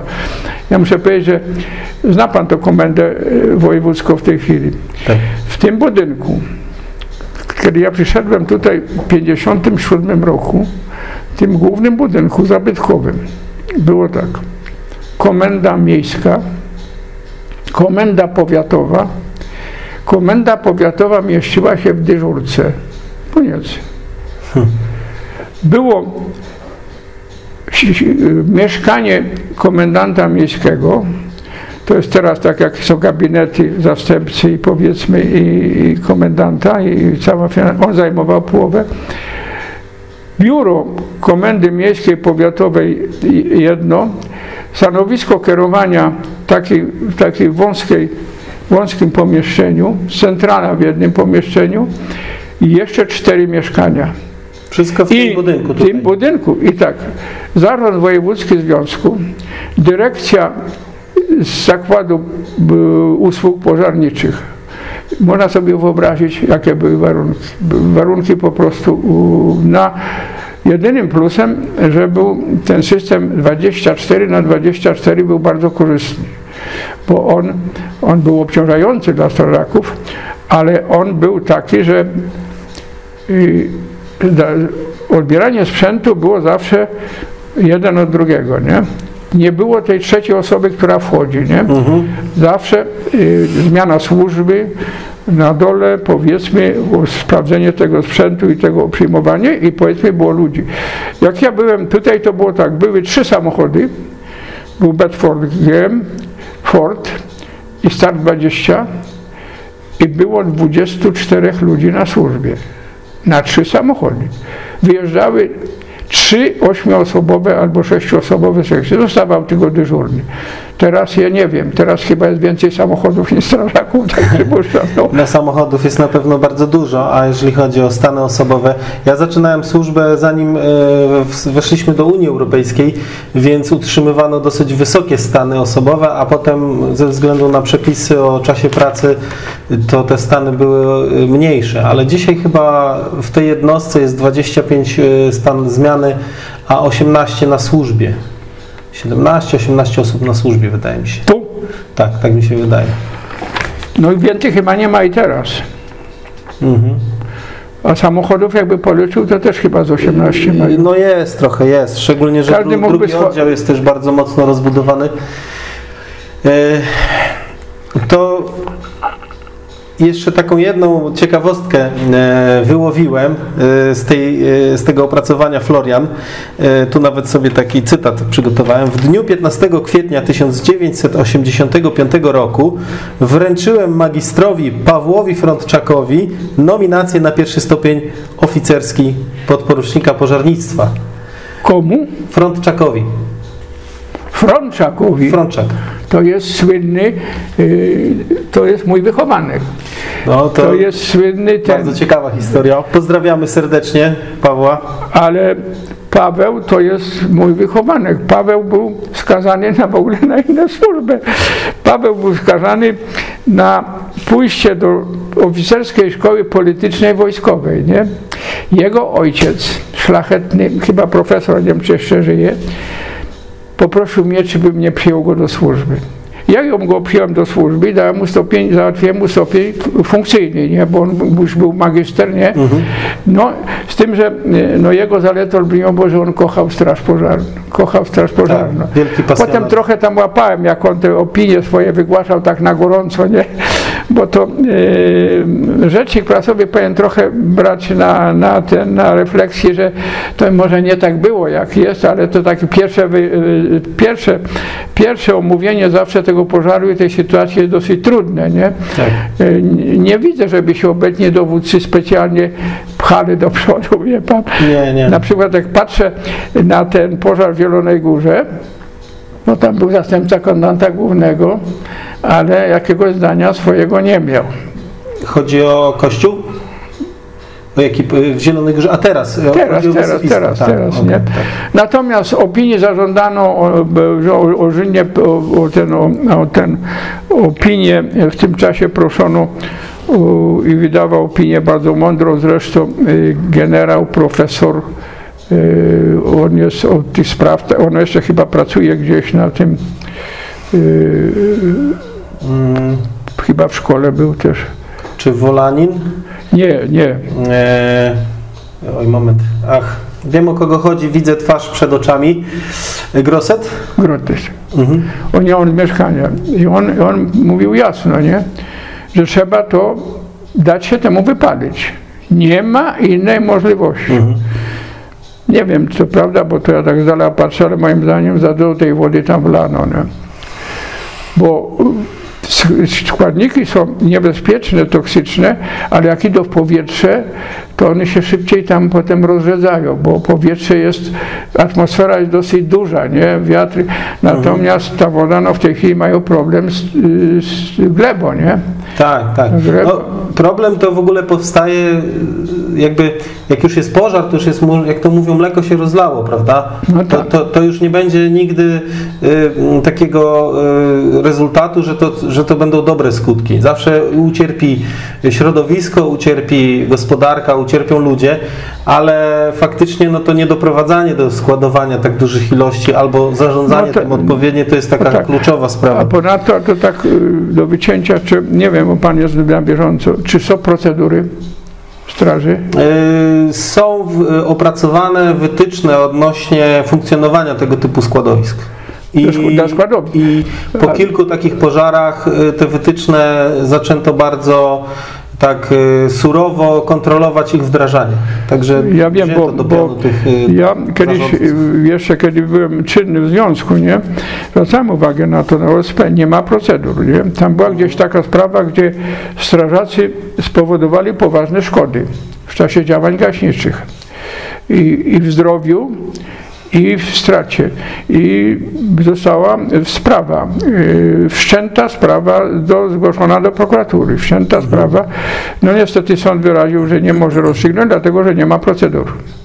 Nie ma opracowanych procedur, jak mają postępować w określonych sytuacjach. No bo teraz weźmy te, te składowisko. Czy woda, czy piana, czy proszek. Prosz, proszkę mu się nie gasi teraz. Nie ma. No, Ale gdybyśmy nie mieli w celulozie świeckiej, kiedy się zapalił transformator główny, samochodów proszkowych i to było zakładów chemicznych, mhm. o które każdy miał. Zachemu zbyt goszczy. Tak, tak, 10 ton 10 proszku to, to byłby problem, nie? Bo to jedyny sposób na, na urządzenia elektryczne, żeby powiedzmy tak. y, wygasić i tak dalej. Ale to tak na marginesie powiedzmy w tym. Wracamy jeszcze do Bydgoszczy, tak? Tak, to znaczy chciałbym teraz y, zamienić y, parę zdań, posłuchać y, o o pożarze właśnie szpitala psychiatrycznego w górnej grupie.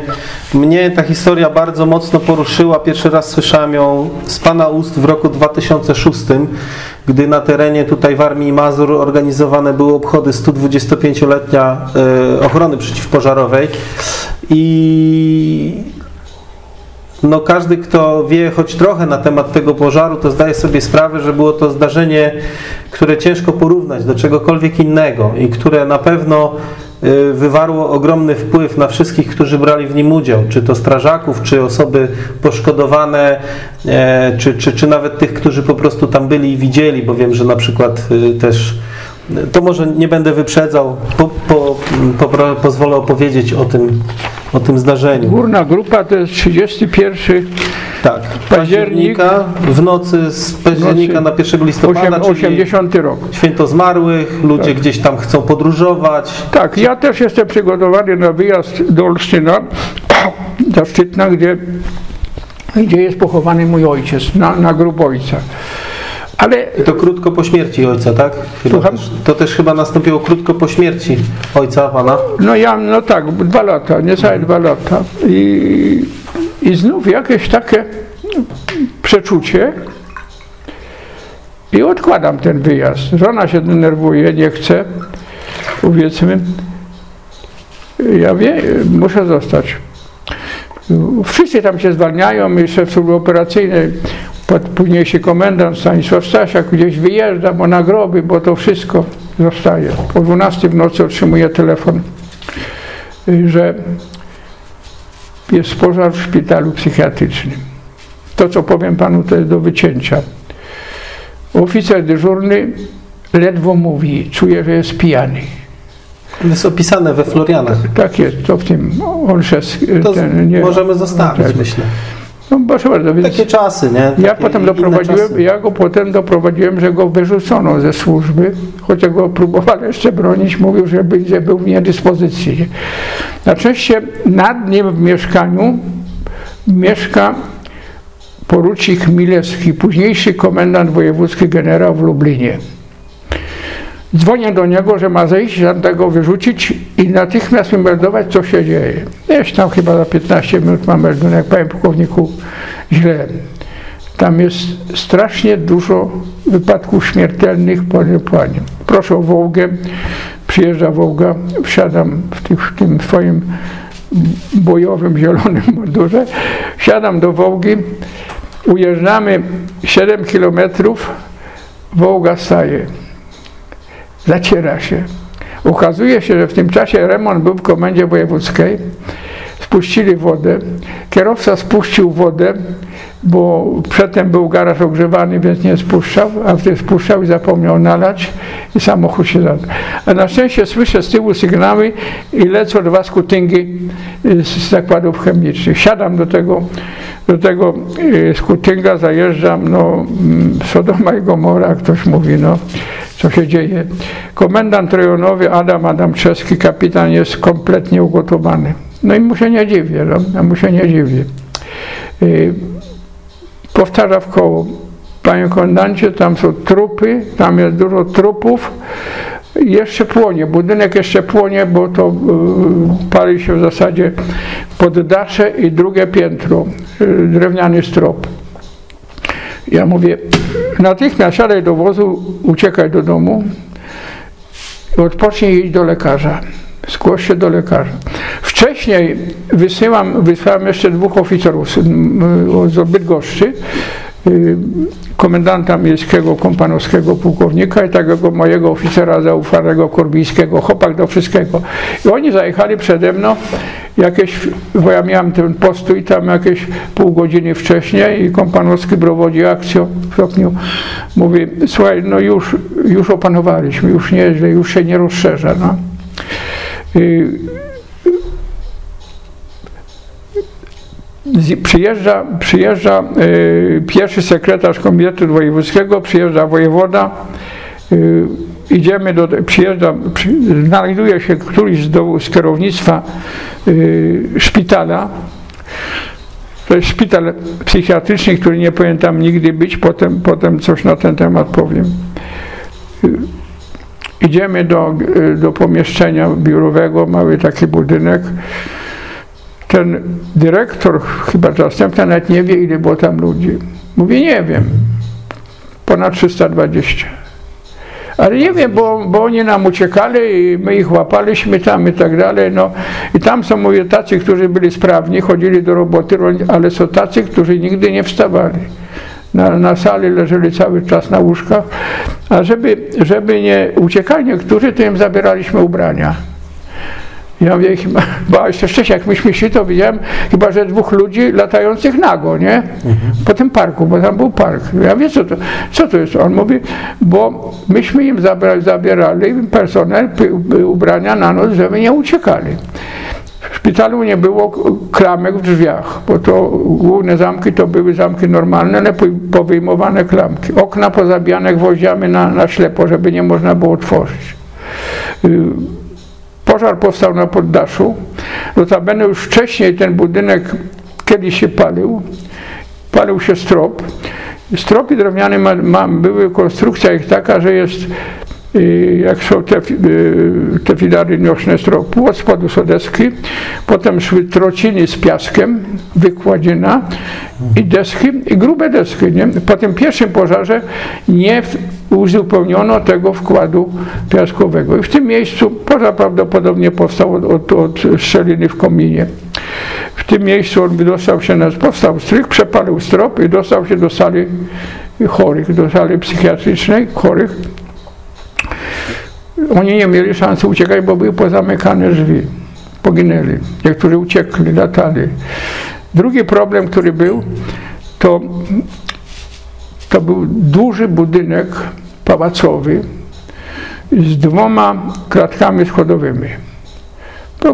Była jedna główna klatka schodowa i druga klatka schodowa była dla personelu do obsługi. Budynek był kiedyś własnością Bismarcka, wie pan, w czasie, w czasie niemieckim, a potem jego siostry, nie?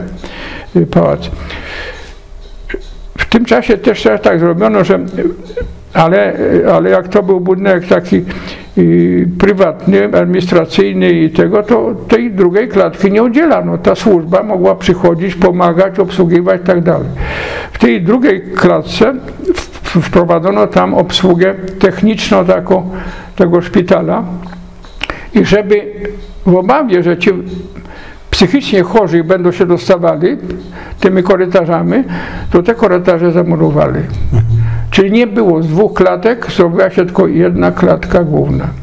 Na tej klatce głównej nastąpiło przepalenie stropu, bo była taka od góry do dołu się przepaliło, spadały palące się żagwie, wytworzyło się ognisko i wydłonęło się dużo dymu.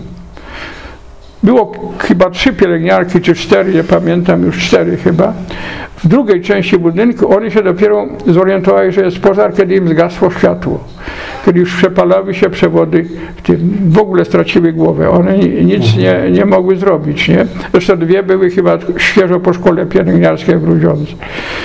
Paliło się poddasze i dach drabina, dużo, dużo roboty zrobiła drabina z Grudziądza, bo Grudziądz, do Grudziądz miał tam 10 km, a my 70, nie? W świecie 40. Tam no, szans ucieczki ci ciężko chorzy nie mieli żadnej. Na, na jednej sali spaliło się kilkadziesiąt osób. To znaczy oni się w zasadzie nie spalili, tylko zatruli.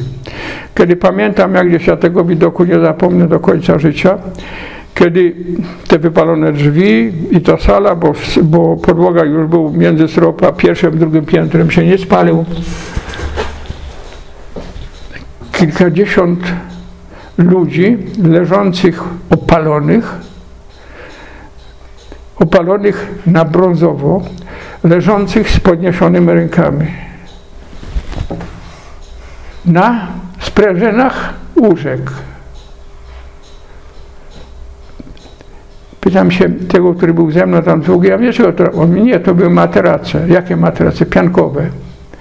Spaliły się materace piankowe. Wiadomo, że z pianki jest... Dużo trujących no produktów. Tak, no tak, to jest yy, jeden z bardziej, najbardziej trujących gazów, który się powiedzmy wydziela no, w tym. No, Cyjanowodór. Cianowodór, tak, cianowodór. No. Po obliczeniu zginęło 51 osób na miejscu. Jeszcze dwie osoby zmarły w szpitalu. Dochodzenie było prowadzone przy nadzorze ONZ-u. Powyżej 50 osób chyba, czy 40 jest tak. Pochowano w jednej mogile 45 osób. To jest mogiła przy szpitalu psychiatrycznym w Świeciu. Ostatnio tam byłem. Jest taki skromny pomnik, gdzie oni są powiedzmy i, i wszyscy oznaczeni. I znów, znów nie zapomnę mogiły z 45 metrami. Wie pan, jedna przy Mhm. drugiej, jedna przy Jak w magazynie. No, widok, Bo ci widok ludzie często nie mieli osób bliskich, prawda? Gdzieś byli zapomnieni przez rodziny i wielu z nich tak jakby ciałami ich nie miał się kto zaopiekować. Tak, było tak, że y, część w ogóle ich było bezimiennych, nie? Ale byli tacy, którzy mieli rodziny i rodziny nie przyjechały nawet na pogrzeb, ale potem się upomina, upominały o odszkodowanie. Wie pan, byli tacy, Mhm. którzy powiedzmy z tej tragedii chcieli korzystać. Ci, którzy odpowiadali za tę sprawę, to znaczy dyrektor do spraw ekonomicznych i ktoś inny, y, była sprawa karna, prokuratorska, nie doczekali sprawy, obydwaj, obydwaj nie żyli. Jeden na zawał serca, drugi chyba zmarł, y, dostał y, pomieszania zmysłów i zmarł w zakładzie psychicznie chorych. No, sprawa, sprawa się rozeszła po całym świecie. Tu jest moje wystąpienie, które ja wygłosiłem w Warszawie na, na spotkaniu służby. Ja panu tylko przeczytam wstęp, nie? Tragedia, jaka rozegrała się w nocy, komendant główny, generał Ostrowski chciał mi w pewnym momencie zabrać głos. Ja nie panie generale, ja to muszę powiedzieć. Tragedia, jaka rozegrała się w nocy z 31 października na 1 listopada bieżącego roku w szpitalu dla nerwowo i psychicznie chorych w górnej grupie, zobowiązuje mnie do zabrania głosu i powiedzenia przykrej prawdy na temat zabezpieczenia przeciwpożarowego obiektów służby zdrowia i opieki społecznej. Uważam, że stan ten jest krytyczny nie tylko w województwie bydgoskim, że jest on wynikiem ogólnych zaniedbań, do jakich dopuszczono się w polskim lecznictwie. Brak lub przestarzała baza budynkowa, trudności remontowe, nadmierna ilość pacjentów, trudności kadrowe oraz zaniedbania formalno-organizacyjne to tylko niektóre z, pro- z problemów przedmiotowego zagadnienia. To, co stało się w górnej grupie, mogło i może się stać także w innym szpitalu lub domu opieki społecznej i dopiero ta tragedia przypomniała niektórym, że sprawy bezpieczeństwa muszą być traktowane na równi z działalnością merytoryczną, nie w teorii, lecz w praktyce. Y, Mówię, mm, było tam jeszcze inne. y, Myśmy zrobili wszystko. Myśmy zrobili wszystko. Ludzie, ludzie powiedzmy nasi, y, tam potem jeszcze był taki, jest taki, w telewizji jest takie największe tragedie, chyba taki, taki dokument. I tam jest górna grupa opisana. Tam jest taki błąd, nie chciałem generować, bo ten materiał przygotowuje ten, który w TVN21 prowadzi ten program po, po, po, po szkle kontaktowym. Bardzo dobry dziennikarz.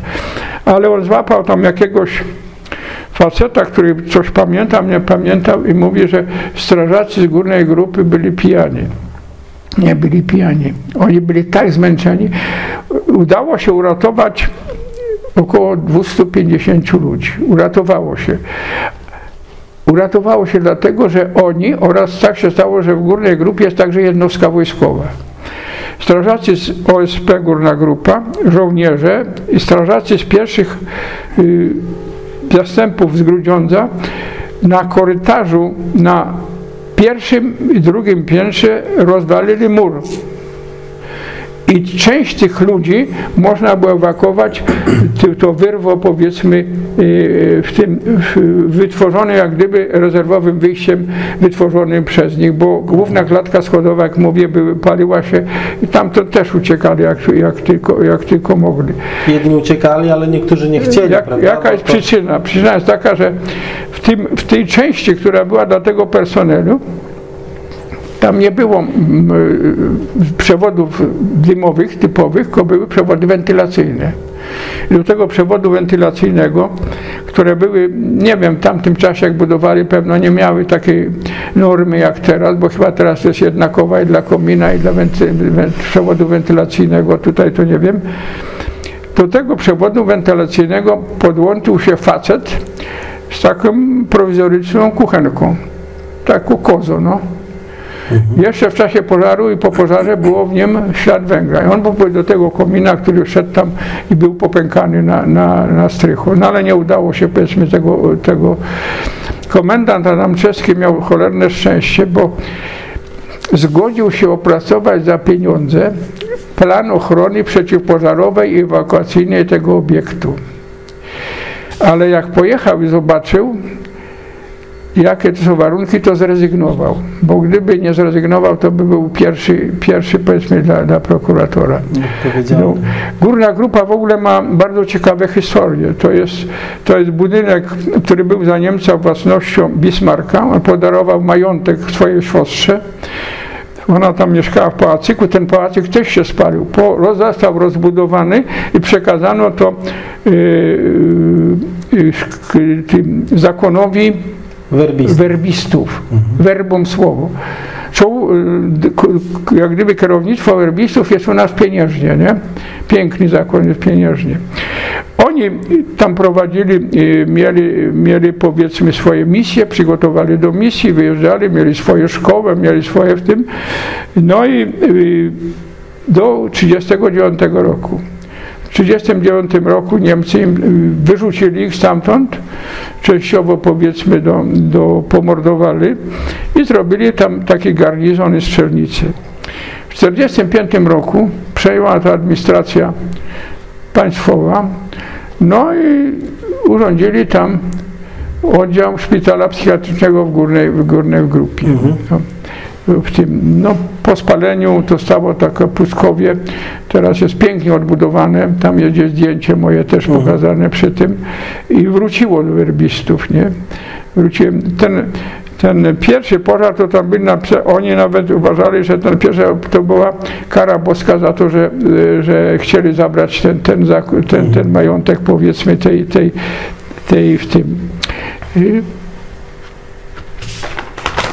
Jeszcze może na takie tematy ogólne, to znaczy... Ja tylko dopowiem, że na, na, ten temat y, Jacek Kaczmarski napisał piosenkę. Tak, wiem. Też w wykonaniu bardzo znanym y, Gintrowskiego i tam właśnie padają takie słowa. Na rusztach łóżek milczy przerażenie. Y, jest też taki wers więc chwytam kraty rozgrzane do, do białości i twarz swoją widzę, twarz w przekleństwach, a obok sąsiad patrzy z ciekawością, jak płonie na nim kaftan bezpieczeństwa. I to dla mnie było takie przejmujące, bo tak jak mówię, po wysłuchaniu tej historii w 2006 roku, y, potem poznałem ten utwór, bo wcześniej może go słyszałem, ale nie zwracałem uwagi. Zresztą wiele osób uważa, że to był, y, bo Kaczmarski znany był z działalności opozycyjnej, że to był taki no tak. Y, hymn mówiący o tym, że my, społeczeństwo, nie chcemy uciec z tego szpitala, jakim określali, wariatkowym określali ustrój ówczesny a, a ta historia jest bezpośrednio inspirowana tym pożarem, prawda? Kilkunastu strażaków otrzymało medale za yy, ofiarność w tym ja nie chciałem przyjąć tego medalu. Powiedziałem, że nie chcę, bo ja mówiłem, mój wkład w same gaszenie pożaru nie był już duży. Mój wkład był duży dopiero potem, kiedy ja musiałem to, jak ja to przedstawiałem na posiedzeniu dyrektorów szpitala z województwa bydgoskiego. Duża sala pełno białych kytli rozmaitych tam podbieranych. Jest scena, mównica i ja z tej sceny mówię do nich. W pewnym momencie dyrektor szpitala ze Żylina nie, nie patrzy, tylko przelatuje przez wszystkie krzesła, dolatuje do mnie, mówi, panie pułkowniku, co pan mówi? My nie mamy żadnych szans, żeby poprawić. Ja mówię, a właśnie dlatego mówię. Ja mówię. Ja mam uwagę, mam mówić, a wy musicie uwagę mieć, odwagę mówić tak, że tak nie będziecie leczyć. No. Myślałem, że będzie się chciał ze mną bić, powiedzmy w tym. W tym. Ale, ale w tym. I tak, y, jeżeli chodzi o... A władze były na miejscu tego pożaru, prawda? Był, był pierwszy sekretarz, był wojewoda. Ja pytam się, bo przychodzi kompanowsko, mówię, panie chce pan zobaczyć, jak to wygląda teraz, już mamy ugaszone. Ja mówię, idę zaraz i mówię do nich, y, to co towarzyszy, nie, nie, nie, nie, my nie idziemy. No nie, nie, nie dziwię się, bo oni byli przyzwyczajeni powiedzmy do tych ciepłych butów i tak dalej. Y, y, A do takich widoków do tragedii ludzkiej uważa pan pułkownik, że strażak może się przyzwyczaić? Chociaż być może, że, że są jakieś wyjątki, że mogą, mhm. ale, ale, ale nie, ale nie. Miałem takiego tutaj kierowcę biskupcu, pamiętam, który zabił człowieka na szosie. Jego, nie była jego wina. I ja zajeżdżam, ale bo patrzę, że był wypadek samochodem pożarniczym, Fiatem zabił człowieka i mówię do niego to co, yy, tam chyba w stopniu sierżanta, to co, zwalniam pana do domu, niech pan mówi, nie panie pułkowniku, ja mogę mieć służbę. Nie, po nim to jakoś nie, nie ciekło, ale, ale yy, taki, taki przykład, ja kilka razy miałem do czynienia z ludźmi spalonymi. Człowiek się robi strasznie malutki, wie pan. Ten swąd spalonego ciała jest nie do, nie do, nie do zniesienia, wie pan, w tym. I taki przykład panu powiem. Kiedyś było seminarium kapelanów y, pod Niedzicą jest taki, taki, tam gdzie ten nasz kapelan jest proboszczem, uh mhm. -huh. na Piwoda To mój rejon obecny. Tak, no i Także księdza Bawirsza dobrze znam. Opowiadają kapelanie. Był, Pozdrawiamy. Ja byłem na, na spotkaniu z tymi kapelanami i był także na spotkaniu zastępca komendanta głównego w tym czasie on z Poznania był, Schroeder. Mhm. Schroeder. Generał Schroeder. I proszę jednego z kapelanów na rozmowę z Wrocławia, nie? Rozmawiamy, bo go znałem wcześniej. Ja mówię, jak ksiądz to przyjmuje? Jako sposób, jakie metody ksiądz bo jest rozwalony samochód. Ksiądza, bo on jeździł do akcji. Kapelan, który jeździł do akcji. Rzadko się zdarza, ale on jeździł. Tak, pierwszym wyjazdem. Mhm. Ja mnie bardzo się dziwię, niech mi ksiądz powie swoje wrażenie. On mówi, nie wiem, czy mam mu dać ostatnie namaszczenie go rozgrzeszyć, czy mam prosić Boga, żeby mu dał życie. To jest takie rozdwojenie jaźni. Ja mówię, a po drugie, czy ksiądz nie ma takiej obawy, że ten umierający człowiek zobaczył księdza i umrze. Gdyby ksiądz tam nie stał, to może by nie umarł, nie? No bo jest taka dziwna rzecz. No, nieprzytomny człowiek budzi się pewnie i wisi na obok. Tak. Mówię, no, no pan pułkownik tutaj kombinuje. Ja mówię, nie, ale, ale wy jako kapelanowie y, w straży powinniście sobie na pewne rzeczy odpowiedzieć, nie? Nie wiem, czy oni mają z kolei też procedurę, powiedzmy, jak mają postępować, bo różni są, powiedzmy, kapelani, no.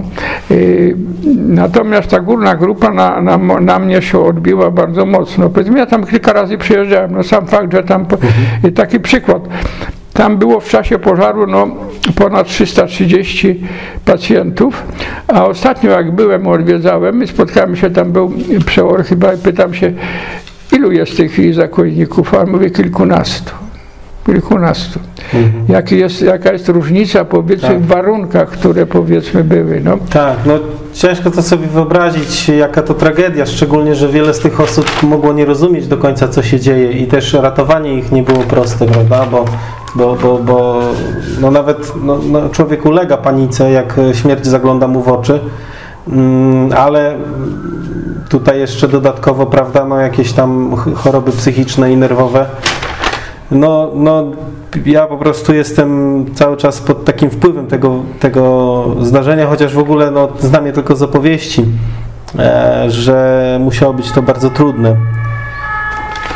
Y, jeszcze chciałem zapytać o jedną rzecz. Rozmawiamy już około dwóch godzin, także możemy powoli zmierzać do, do, do brzegu. E, chociaż moglibyśmy na pewno bardzo długo, bo, bo historii jest mnóstwo, ale też, żeby nie, nie przemęczyć sprawy. Miał Pan też, Panie Pułkowniku, propozycję, która właściwie no, zaszła już bardzo daleko, zostania komendantem głównym Straży Pożarnych. Tak. Znaczy jest to y, jedna y, z historii powiedzmy jego życia, ta, ta moja służba, no one tak ja y, Bydgoszcz wyprowadziłem prawie na pierwsze miejsce kraju. Olsztyn to samo. Sztandar przechodni ministra spraw wewnętrznych. I w 70 nie, w 86 roku. Kiedy przyszedłem do Olsztyna, to był to naprawdę nie było dobrze z ochroną przeciwpożarową. Był konflikt między komendą wojewódzką a komendą miejską. Był brak dyscypliny.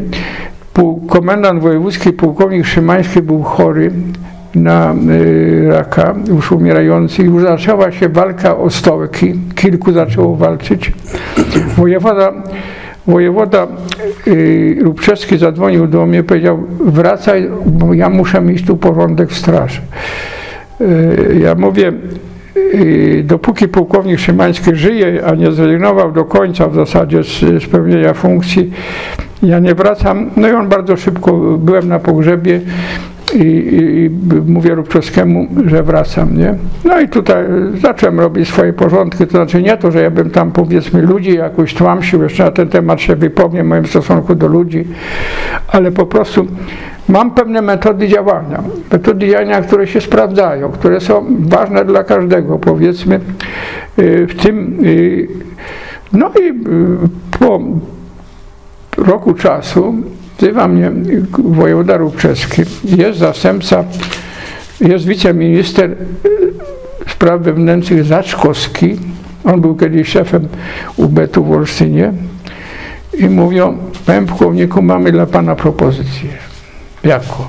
Że pan się zgodził przejść na komendanta głównego. Ale nie, panie wojewodo, przecież mnie tu jest dobrze. Pan mi załatwił piękne mieszkanie. Ułożyłem sobie służbę. Ludzie mnie szanują. Dostaję najwięcej pieniędzy ze wszystkich wydziałów w tym, bo potrafię. Obwiozłem tych kierowników wydziałów po strażnicach, jak się budują ale nie ma mowy. Żona się nie zgodzi, ja się nie No nie, nie, dobra, nie, to tak się nie rzuca. I tutaj mówi wojewoda, to jest rozmowa wstępna, wrócimy do niej. Ja mówię, dobra, wrócimy. Po jakimś czasie przyjeżdża szef kadr z komendy głównej i zastępca do spraw politycznych. Bo on przyszedł z MSW gdzieś tam powiedzmy. Zapraszają mnie, jedziemy do nowoczesnej restauracji. I na kolacji takiej, no wracam, mówię, no to już jest sprawa prawie przesadzona, niech pan się zgodzi. Komendantem był pułkownik Gatlik z PSL-u, z ZSL-u. No, dobry człowiek, ale jak nie, nie dostał generała, to zaczął powiedzmy trochę pozwalać sobie w alkohole o, to z tego. I, i niech pan nie, nie zajmuje stanowiska. Y, umawiamy się, że przyjedzie pan do Ministerstwa Spraw Wewnętrznych, do, do Wydziału Katy, szkolenia i tym. No, powiem coś, wzywają mnie, rozmawiam z szefem yy, Wydziału Katy, szkolenia, to był, to był jedna służba, gdyby w policji, generał i z szefem Katy, oni ponawiają propozycję. Ja odmawiam, jeżeli nie jadę. Po pewnym czasie proszę mnie o przyjechanie generał Zaczkowski do Warszawy. I uświadamiam, mówię, no wiem, że pan może zrobić w komendzie głównej porządek. Ma pan przygotowanie, ma pan skończone studia, ma pan dwie szkoły oficerskie, bo ja oprócz technikum jeszcze skończyłem szkołę oficerską drugi raz, nie? Ma pan doświadczenie, ma pan rezultaty. Co ja tu mam pana przekonywać, no? Przecież chcę pana awansować. Dostanie pan mieszkanie po pewnym czasie. I przemawiam, wiem, wie pan, ja może, ale żona, nie, nie, żona do Warszawy nie przyjedzie. No i w pewnym momencie ja mówię, dobra, no zgadzam się. Mówię, mam jeszcze jeden taki warunek. Jak pan zostanie komendantem głównym, musi pan zmienić stanowiska dwom oficerom. Pierwszy oficer to jest pułkownik Groba, komendant szkoły, a drugi to jest pułkownik Wargenał, szef służby operacyjnej w komendzie głównej. Moi przyjaciele obydwaj. Z tym, że, z tym, że Groba no, miał takie, takie problemy alkoholowe. No. A w której szkole był? Co? W jakiej szkole był? Tak, w szkole, w tej oficerskiej W Warszawie. w Warszawie. On po Smolarkiewiczu. Po, tej, po tym buncie on został komendantem szkoły. Notabene miał doktora zrobionego już ekonomii w tym. Bo oni y, zakłócają cały porządek w komendzie głównej. Jeden jest komendantem szkoły, pan wie na co sobie pozwala, a tam mówi, towarzystwo przyjeżdżało, bo to trzeba przyjąć syna, bo do tego, to każdy wsteczko, a on nie mógł odmówić, dobry, strasznie fajny facet. Yy, no a Wargenał to jest prześpieszny, czarny facet, mądra cholera, bestia cały. Każdego mógł wyśmiać. No. Ja wiem, panie generale, yy, wracajmy do mojego przyjścia, bo pan mi tu zadał pytanie, bardzo osobiste, bo to są moi przyjaciele. Wiem o ich wadach. Może się umówimy, że ja zostaję i ja zrobię porządek. Nie będą. Nie będą, nie, to się nie powtórzy. Ale nie mogę zaczynać służby od zwolnienia dwóch ludzi, których szanują i oni w służbie są dobrzy, nie? W służbie są dobrzy. Po pewnym czasie mam Aha, tutaj mam, y, wojewoda mnie prosi, no y, słuchaj komendant, musimy się jakoś pożegnać. Przychodzi do mnie, y, zaprasza mnie do siebie, wicewojewodowie, trzech wicewojewodów. Żegnamy się, on mówi, no tylko pamiętaj Olsztynie cholera, bo tu wiesz, po to cię wysyłamy, nie? Ja wzywa, wzywa mnie do, do Warszawy, zajeżdżam do Ministerstwa Spraw Wewnętrznych, siadamy, ze mną wsiada dyrektor kadr, mówi jedziemy do Urzędu Rady Ministrów po nominację. W międzyczasie otrzymuję telefon z Komitetu Centralnego, że przed wizytą był premierem był Messner. Jak z tego co widziałem, ja już mam tam gdzieś y, gratulacje z terenu, które poprzysyłane, nie? Y, na biurku Messnera leżał podpisany akt nominacji mnie na, na funkcję komendanta głównego. Zajeżdżamy, żeby zajechać do Komitetu Centralnego, do Wydziału Administracyjnego. To jest wydział, który nadzorował bardzo mocno straże pożarne. Tam byli zawsze tacy zakapiorzy, nie?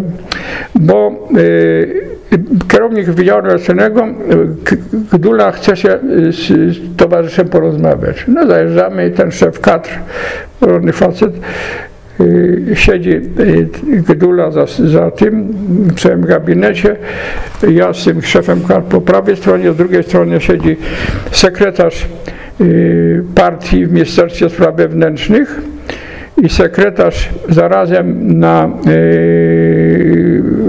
dzielnicy, tam gdzie była komenda główna, a obok niego siedzi opiekun strażaków. No i ona zaczyna, panie pułkowniku, my tu mamy opinię o panu z Olsztyna, z Bydgoszczy, z partii, od wojewodów, od komendanta głównego Gotlyka, od tym, no pozostaje nam tylko panu pogratulować i prosić, żeby pan to zrobił. A z tym, że mamy tutaj sekretarz partii ma jakieś zastrzeżenie. I ten zaczyna. Czy to prawda, że Pan ochrzcił dzieci? I ja mówię, ochrzciłem. Czy to prawda, że pan wziął ślub? Owszem. No jak Ślub towarzysz... w sensie. Tak, tak. I Jak towarzysz może to pogodzić ze statutem partii, który mówi o światopoglądzie materialistycznym i o chrześcijaństwie. Ja mówię, ja to mogę po prostu prosto pogodzić, bo ja, polska konstytucja PRL dajemy wolność wyznania i sumienia. I ja z tego już się spowiadałem w organizacji partyjnej, w komitecie miejskim, komitecie wojewódzkim w Olsztynie, Bydgoszczy i oni wszyscy uznali, że moje walory służbowe i moralne nie mogą, y, ten, ten fakt nie może wpłynąć na to, że ja nie mogę awansować i dlatego awansuję. I ja w ogóle na ten temat nie chcę rozmawiać. To jest moja osobista sprawa, tylko moja, może mojej rodziny jeszcze, mojej żony. Nie będziemy na ten temat, albo to jeszcze uznają, że ja się nadaję na kandydata głównego, no Gula mówi, no nie, nie tak, nie tak. I tak jeszcze chciał mnie chyba trochę wyciągnąć, że mi się złamał, mówi, a jak y, pana córka będzie brała ślub, będzie brała ślub kościelny? Ja mówię, to jest sprawa mojej córki. Na pewno będzie brała. To towarzysz pójdzie na ten ślub? Ja mówię, ona by mi nigdy nie wybaczyła, gdybym nie poszedł. No to dziękujemy. Dalej Trybunę Ludu do czytania, kawę, pokój tak osobny i godzinę czasu jeszcze się tam spierali. Gdula był za mną. Po pewnym czasie przychodzi ten opiekun, mówi, no przepraszamy, nie podjęliśmy decyzji, na razie tego aktu proszę nie odbierać, wracać proszę do Olsztyna. Ja mówię, no wiem, że nie mam co do Warszawy przyjeżdżać, na pewno nie przyjadę, to już jest teraz moja decyzja, także, także w ta, każde, każde w, tym, w tym względzie. I proszę sobie wyobrazić, jaka, jaka jest y, sytuacja. No, wracam wojewoda, kurwa, coś ty narobił, no. Tyły nam tu, zamiast, zamiast do przodu, teraz do tyłu, że jakiegoś katolika nam przysłali, no. Ja mówię, panie wojewodo, mam rezygnować? Ale nie, nie mam mowy, co ty gadasz, głupoty. Mam tu dla ciebie krzyż oficerski. Nie będę publicznie ci wręczał, przyjdź do mnie, poproszę cię i ci go wręczę. Zasługi twoje są przewyższają. No i po pewnym czasie, jeszcze taki duży epizod taki, to jak był papież w Olsztynie, to ja byłem szefem wszystkich służb zabezpieczających poza policją. Mhm. Mnie podlegały wodociągi, gazownictwo, energetyka. Wszyscy dyrektorzy byli w moim zespole. Ja opracowałem taki plan, program Perła się nazywał.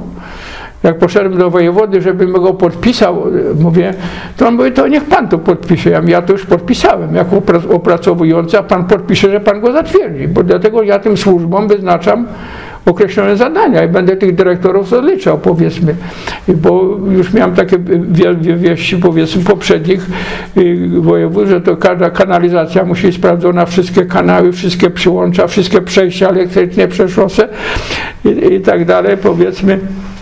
W tym, no mówiąc szczerze, ale wracając do tego, do, do tego powiedzmy, za ten, za ten plan i za zabezpieczenie dostałem medal papieski. Bardzo rzadki medal, żeby był. Ale wracając do. Moja córka wyjechała do Włoch, do Rzymu. Miała tam ślub. I ślub wzięła w kościele świętej Anny w Watykanie po ślubie otrzymaliśmy zaproszenie do papieża. W którym roku? No, zaraz, to był rok, rok 80.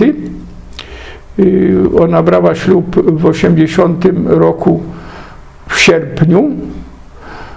To było chyba w 81 roku. Wtedy, kiedy, mhm. wtedy kiedy, kiedy papież był w Polsce na spotkanie młodzieży, nie? W 79 chyba był. No był kilka razy. Ja pamiętam tylko tyle, że kiedyś mieliśmy takie zdjęcie papieża na Wawelu i to było tam na początku czerwca. Ja mówię, o, to kilka tygodni przed tym, jak ja się urodziłem, bo ja się no. urodziłem w czerwcu 79. Także. I, ten, także i, I mamy piękne zdjęcie z papieżem. Dostałem przepustkę na zwiedzenie całego Watykanu, państwa mhm. watykańskiego. No, tam nawet dworzec jest kolejowy, który był już nieczynny, antena radiowo-telewizyjna, chyba największa, jaka jest powiedzmy we Włoszech. Te wszystkie budynki, pomniki, powiedzmy tak dalej, to było. I tak to jakoś się skojarzyłem z tym wizytą w tym komitecie centralnym, z tą wizytą papieża, no więc e, tak to bywa. Ponadto e, no jeszcze powiedzmy e, w tej służbie, bo ona już ma jakby nie było, bo tak ją zakończyłem oficjalnie w zasadzie w Związku Ochotniczych Straży Pożarnych przeszedłem na honorowego członka zarządu głównego, zarządu wojewódzkiego w zeszłym roku. To, to tak, poznałem się, zapoznałem się z ochroną przeciwpożarową, byłem na wizytach w Związku Radzieckim, to znaczy w Moskwie, w Leningradzie, e, w Kijowie, w Mińsku, e, w tym w Wilnie. E, byłem w Niemczech, znaczy zarówno w Ulm, tam gdzie produkują drabiny, powiedzmy, byłem, między innymi odbierałem drabinę y, chyba 60-metrową, w tym dla Poznania. Y, y, byłem, oczywiście mam przyjaciół w Duisdorfie i Duisburgu, bo to oni wyjeżdżali ci Niemcy. Byłem w USA, zapoznałem się z nimi. Włochy to, to mam pamiątkowe taki pamiątki od komendanta rzymskiej straży pożarnej. Tam jest Państwowa Straż Pożarna, tylko nie mają zbyt dobrych, no ale zapoznałem się ze strażą Mediolanie, w Wenecji, w Turynie. I taka ciekawa rzecz, gdy byłem w Wenecji, zobaczyłem, że tam w Wenecji nie ma żadnych ulic, żadnych dróg, no to z zdjęciem zjechaliśmy do straży pożarnej. I pytam się, on tłumaczy, nie? Ja wiem, jak wy w ogóle funkcjonujecie? No, zabytkowe miasto, pełno zabytków, pełno turystów, tylko kanały i chodniki. Co macie w garażach? My nie mamy garaży, my mamy łodzie. No i zachodzimy w, w tych garażu, ich stoi cztery, cztery te, takie, te szybkie, nie, ale uh mhm. -huh. takie duże. No i z ale mówię, wodnym nie ma problemu? No tak, wodne nie ma problemu. Wszystkie mają pompy na ten, z dołu, a ten, a ja mówię, ale dobra, ale, ale jak macie na piętrze pożar, to co? No mamy te drabiny nasadkowe mieli na tych, no zestawiamy na tych chodnikach albo na tej łodzi, trzymamy, jakoś się tam dostajemy, ale mówi to nasz problem. I się pytam, czy macie dużo wypadków utonięć, bo tam nie ma w ogóle barierek przy tych, y, nie wiem czy pan był w Wenecji? Nie. Nie ma barierek, to są chodniki, wie pan, i kanały, no. Nie mam. On mówi, nie, nie nie mamy dużo wypadków. No. A jeszcze taka ostatnia ciekawość, to ja pytam się, skąd Wenecja bierze wodę pitną? Bo przecież to jest yy, zasolona woda i jeszcze brudna woda, bo to jest ta. A oni pytają, a widzisz tam na placu jest taki, taki dekel metalowy, duży, gdzieś taka pokrywa wypukła do góry i gdzieś w średnicy 4 metrów. Ja wiem, co to jest? To jest studnia. Do tej studni sprowadzane są do tych studni na tych placach wszystka woda deszczowa. Wszystka. Potem są pompy, filtry i takie wodę ma w tym, e, w tym. I tak na zakończenie powiedzmy takie, takie powiedzmy, co szanowałem? Szanowałem ludzi zawsze. Są i tutaj w jednostce i w komendzie powiedzmy, w komendach powiatowych, no ci młodzi też mnie nie znają, ale wszyscy jak ja zadzwonię, jak powiem, to odżywają do mnie z wielkim szacunkiem, dlatego że ja praktycznie nie miałem zamkniętych drzwi w gabinecie. Nie dlatego, żeby podglądać sekretarkę.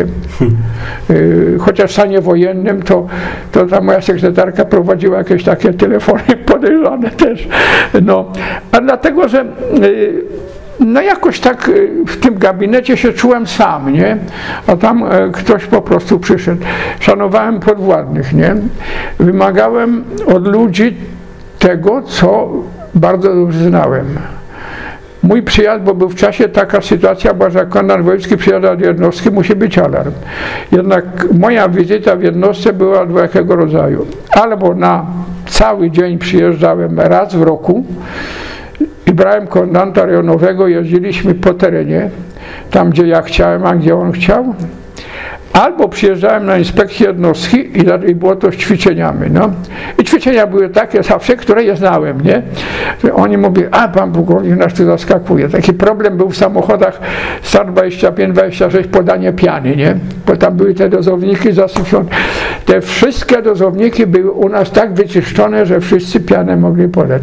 Ale oni mieli szacunek. Spotkałem takiego policjera w Kętrzynie, bardzo fajny chłopak, Wilk się nazywał, w magazynie pili wódkę. Pili wódkę dlatego, że on skombinował z PKS-u części i mu powiedzieli, że jak postawi wódkę, to mu przywiozą, czyli dobre część. Jak ja naszedłem, no Niemcy, kanał Wódzki, bo jak ja zająłem do jednostki, potrafiłem zajść od kotłowni do strychu. No i mówię do niego, to co jutro się mi zamelduje w Olsztynie i, i, i, ten, i wybierze sobie karę. Przyjechał ubrany, zameldował się, no i co? No tak prosił pana komendanta o naganę. Ja wiem, masz naganę. A potem się spotkał ze mną na komendzie, mówi, cholera, ja nie, nie poprosiłem o upomnienie o naganę. No. Więc szacunek dla ludzi, ale dobór ludzi, wie pan. Ja po prostu szanuję ludzi, którzy mają kwalifikacje, umiał je wykorzystać, umiał to wcielić w życie, wie pan. Nie, nie są y, tacy, że wie pan, siedzi tylko, żeby siedział. Mówię zawsze, po to tu jesteś, żeby robił dobre rzeczy, nie, nie, nie złe. No bierzesz pieniądze, w tym, y, mówiąc o awansie, awanse powiedzmy, to moja sprawa, nagrody, nagrody, to one musiały być, ale ci ludzie musieli, ale muszą, musieli na swoich stanowiskach naprawdę bardzo efektywnie pracować. I stąd ta, ta służba się powiedzmy y, jakoś y, tam wybijała. Wybijała się dlatego, że ludzie, ludzie powie, ponadto, ponadto w tym. No i... To mam pytanie takie, a czy zgodzi się Pan pułkownik, że e, odpowiedzialność ludzi i ich profesjonalizm jest bardzo mocno połączony z tym, żeby przełożony bardzo jasno określał swoje oczekiwania. Jasne, jasne. Uważam, że największy błąd jest, jeżeli przełożony zaczyna kogoś egzaminować z tego, co sam nie wie. No. Każe mu zrobić to, a sam nie wie, co to zrobi. Dlatego profesjonalizm naszej służby musi być absolutnie na pierwszym miejscu. Jestem daleko od, od polityki w straży. Absolutnie. Pan, próbowano mnie po studiach wziąć do komitetu, próbowano mnie wziąć do szkoły policji w Szczytnie proponując mi bardzo dobre stanowisko, bo ja nie, panowie. I tak na zakończenie. Moja służba jest taka, że ja, to co powiedziałem na początku, ja wierzę, że Bóg dał mi dobro, dał mi, dał mi pewną misję i dobro i ja te dobro chcę po prostu wykonywać. Chcę to wykonywać z całą odpowiedzialnością za to, co robię, wie pan, za to, yy, że to jest posłanie, a nie służba. Pozostaje mi w moim życiu rodzina, świetne rodziny mam. Córka doktor Mediolani, syn w urzędzie, tutaj pełnomocnik województwa do spraw energetycznych, magister inżynier. Dwie wnuczki, jedna doktor biotechniki w Polskiej Akademii Nauk y, druga wnuczka lekarz. Mam dwóch prawnuków. Ta rodzina jest dla mnie po tej najważniejsza, a potem jest straż pożarna. Żona, żona moja mi nigdy nie przeszkadzała w wyjazdach w teren, w sprawach strażackich. Nawet dzisiaj, gdzie idziesz? Ja idę do straży. Kiedy wrócisz? Ja mówię, gdzieś po dwóch godzinach na pewno wrócę. Zawsze się zgadzała. Nie chciała ze mną jeździć. Mhm. Raz tylko pojechała na, na ten, na, ze mną na zabawę strażacką, kiedy przekazywałem samochód i pijany i ochotnik przyszedł i kłania się, tak my siedzimy na scenie, a on się kłania, najpierw mnie mówi, panie komendancie, czy mogę z żoną zatańczyć? Ja mówię, to jest sprawa żony. Czy mogę z panią, za... ale proszę bardzo, ona zeszła z tej sceny, zatańczył, zahulał tamten, no ona przyszła trochę, trochę zmęczona, zaczęły się kawałek, a on idzie i już się kłania jej z sali. Ona mówi, no nie, nie, jedziemy do domu. Więcej, więcej nie pojechała do, do, do, do, do targaku. Ty masz swoje sprawy, kochasz to straż pożarną, masz tam wszystko. Ja też bardzo dziękuję za, za to nagranie. Niech pan tam to trochę wygładzi, gdzie trzeba. Nie wiem, gdzie ja to mogę zobaczyć?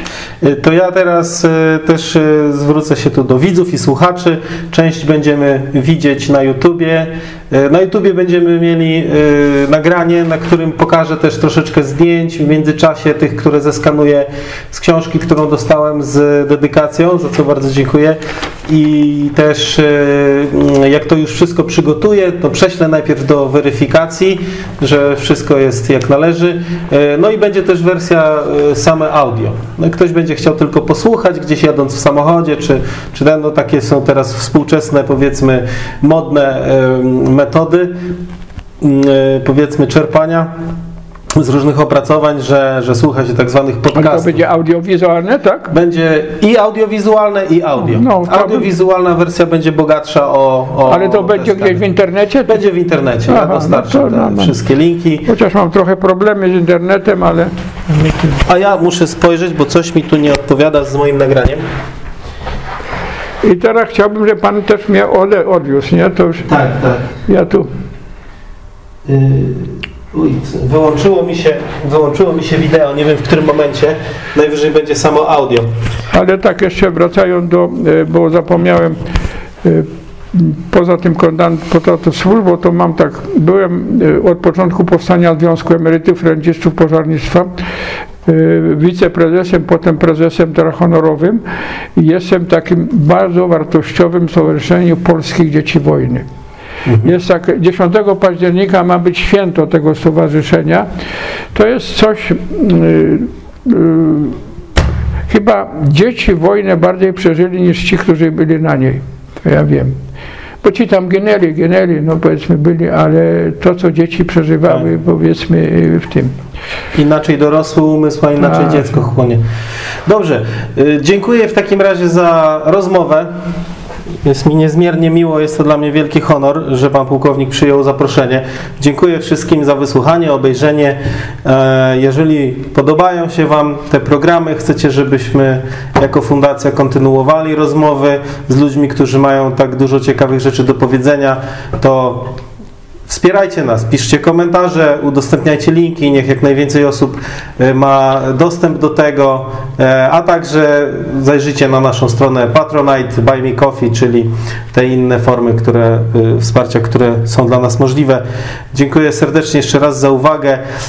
Ja jeszcze dogram parę rzeczy, oczywiście na początku biografię pana pułkownika. Czyli jeżeli już to oglądacie, to znaczy, że ona była, e, ale też e, pomyślę o właśnie fragmencie utworu e, Jacka Kaczmarskiego dla takiej ostatniej refleksji po wysłuchaniu tej rozmowy nad losem strażaka i losem ludzi, których strażak na swojej drodze spotyka i jakie temu towarzyszą przeżycia, jakie się w związku z tym mogą kształtować wartości i o czym warto pamiętać. I myślę, że jak często komentowałem różne wypowiedzi gości, tak dzisiaj bardzo się wstrzymywałem, bo pan pułkownik mówił dużo rzeczy takich, o które ja chciałem zapytać, sam, sam z siebie. I, I sądzę, że każdy będzie w stanie gdzieś tam dla siebie wyciągnąć y, własne refleksje. Także dzięki za uwagę i do następnego odcinka. No i tak już poza nawiasem mam najwyższe oznaczenie chyba jakie może mieć pożarnik. Krzyż Komandorski Order, Order Odrodzenia Polski. Jedyny, jedyny powiedzmy w województwie i krzyż jest, orzeł jest koroną. Nie, bo niektórzy mówią oznaczenia dziada, czy oznaczenie ma orła bez korony jest koroną. Znaczy, znaczy nieważne od układów politycznych, jeżeli ktoś jest naprawdę wartościowym człowiekiem, to nawet, nawet w pewnym sensie można powiedzieć przeciwnicy doceniają. Można się odnaleźć, prawda? No i to jest refleksja, z którą Was zostawiamy, drodzy widzowie. Dziękuję. Dziękuję. No. O, panie Pułkowniku, moment.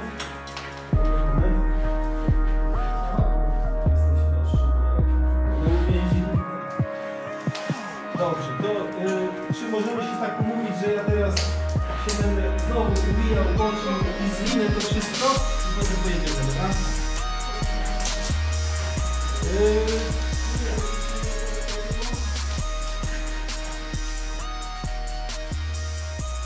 rozmawialiśmy ponad dwie godziny, prawie dwie i pół. Także gratuluję formy. Mnie też to odpowiada i dziękuję, bo to było takie pełne, nie? Nie lubię takich zdawkowych historii, że tam nie wie pan akademii, gdzieś na korytarzu. Szybko, szybko. No ja, ja mówię tak, tak, nie mówię. Każdy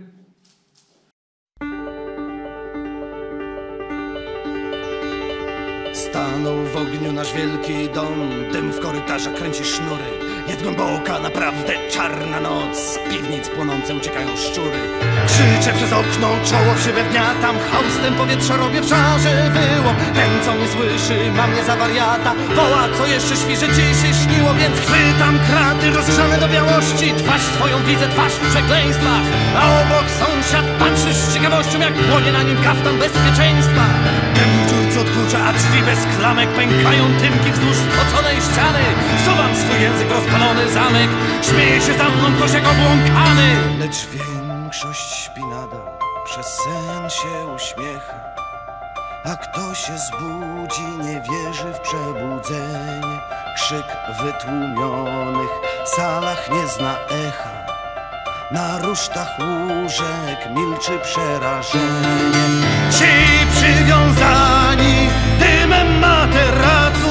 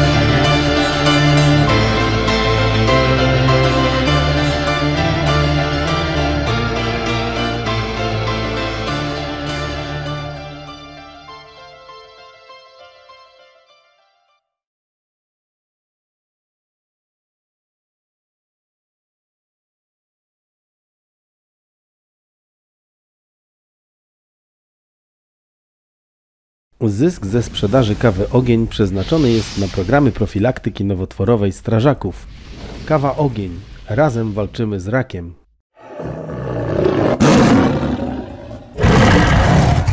Projekt Lider. Ambitnie o straży i nie tylko.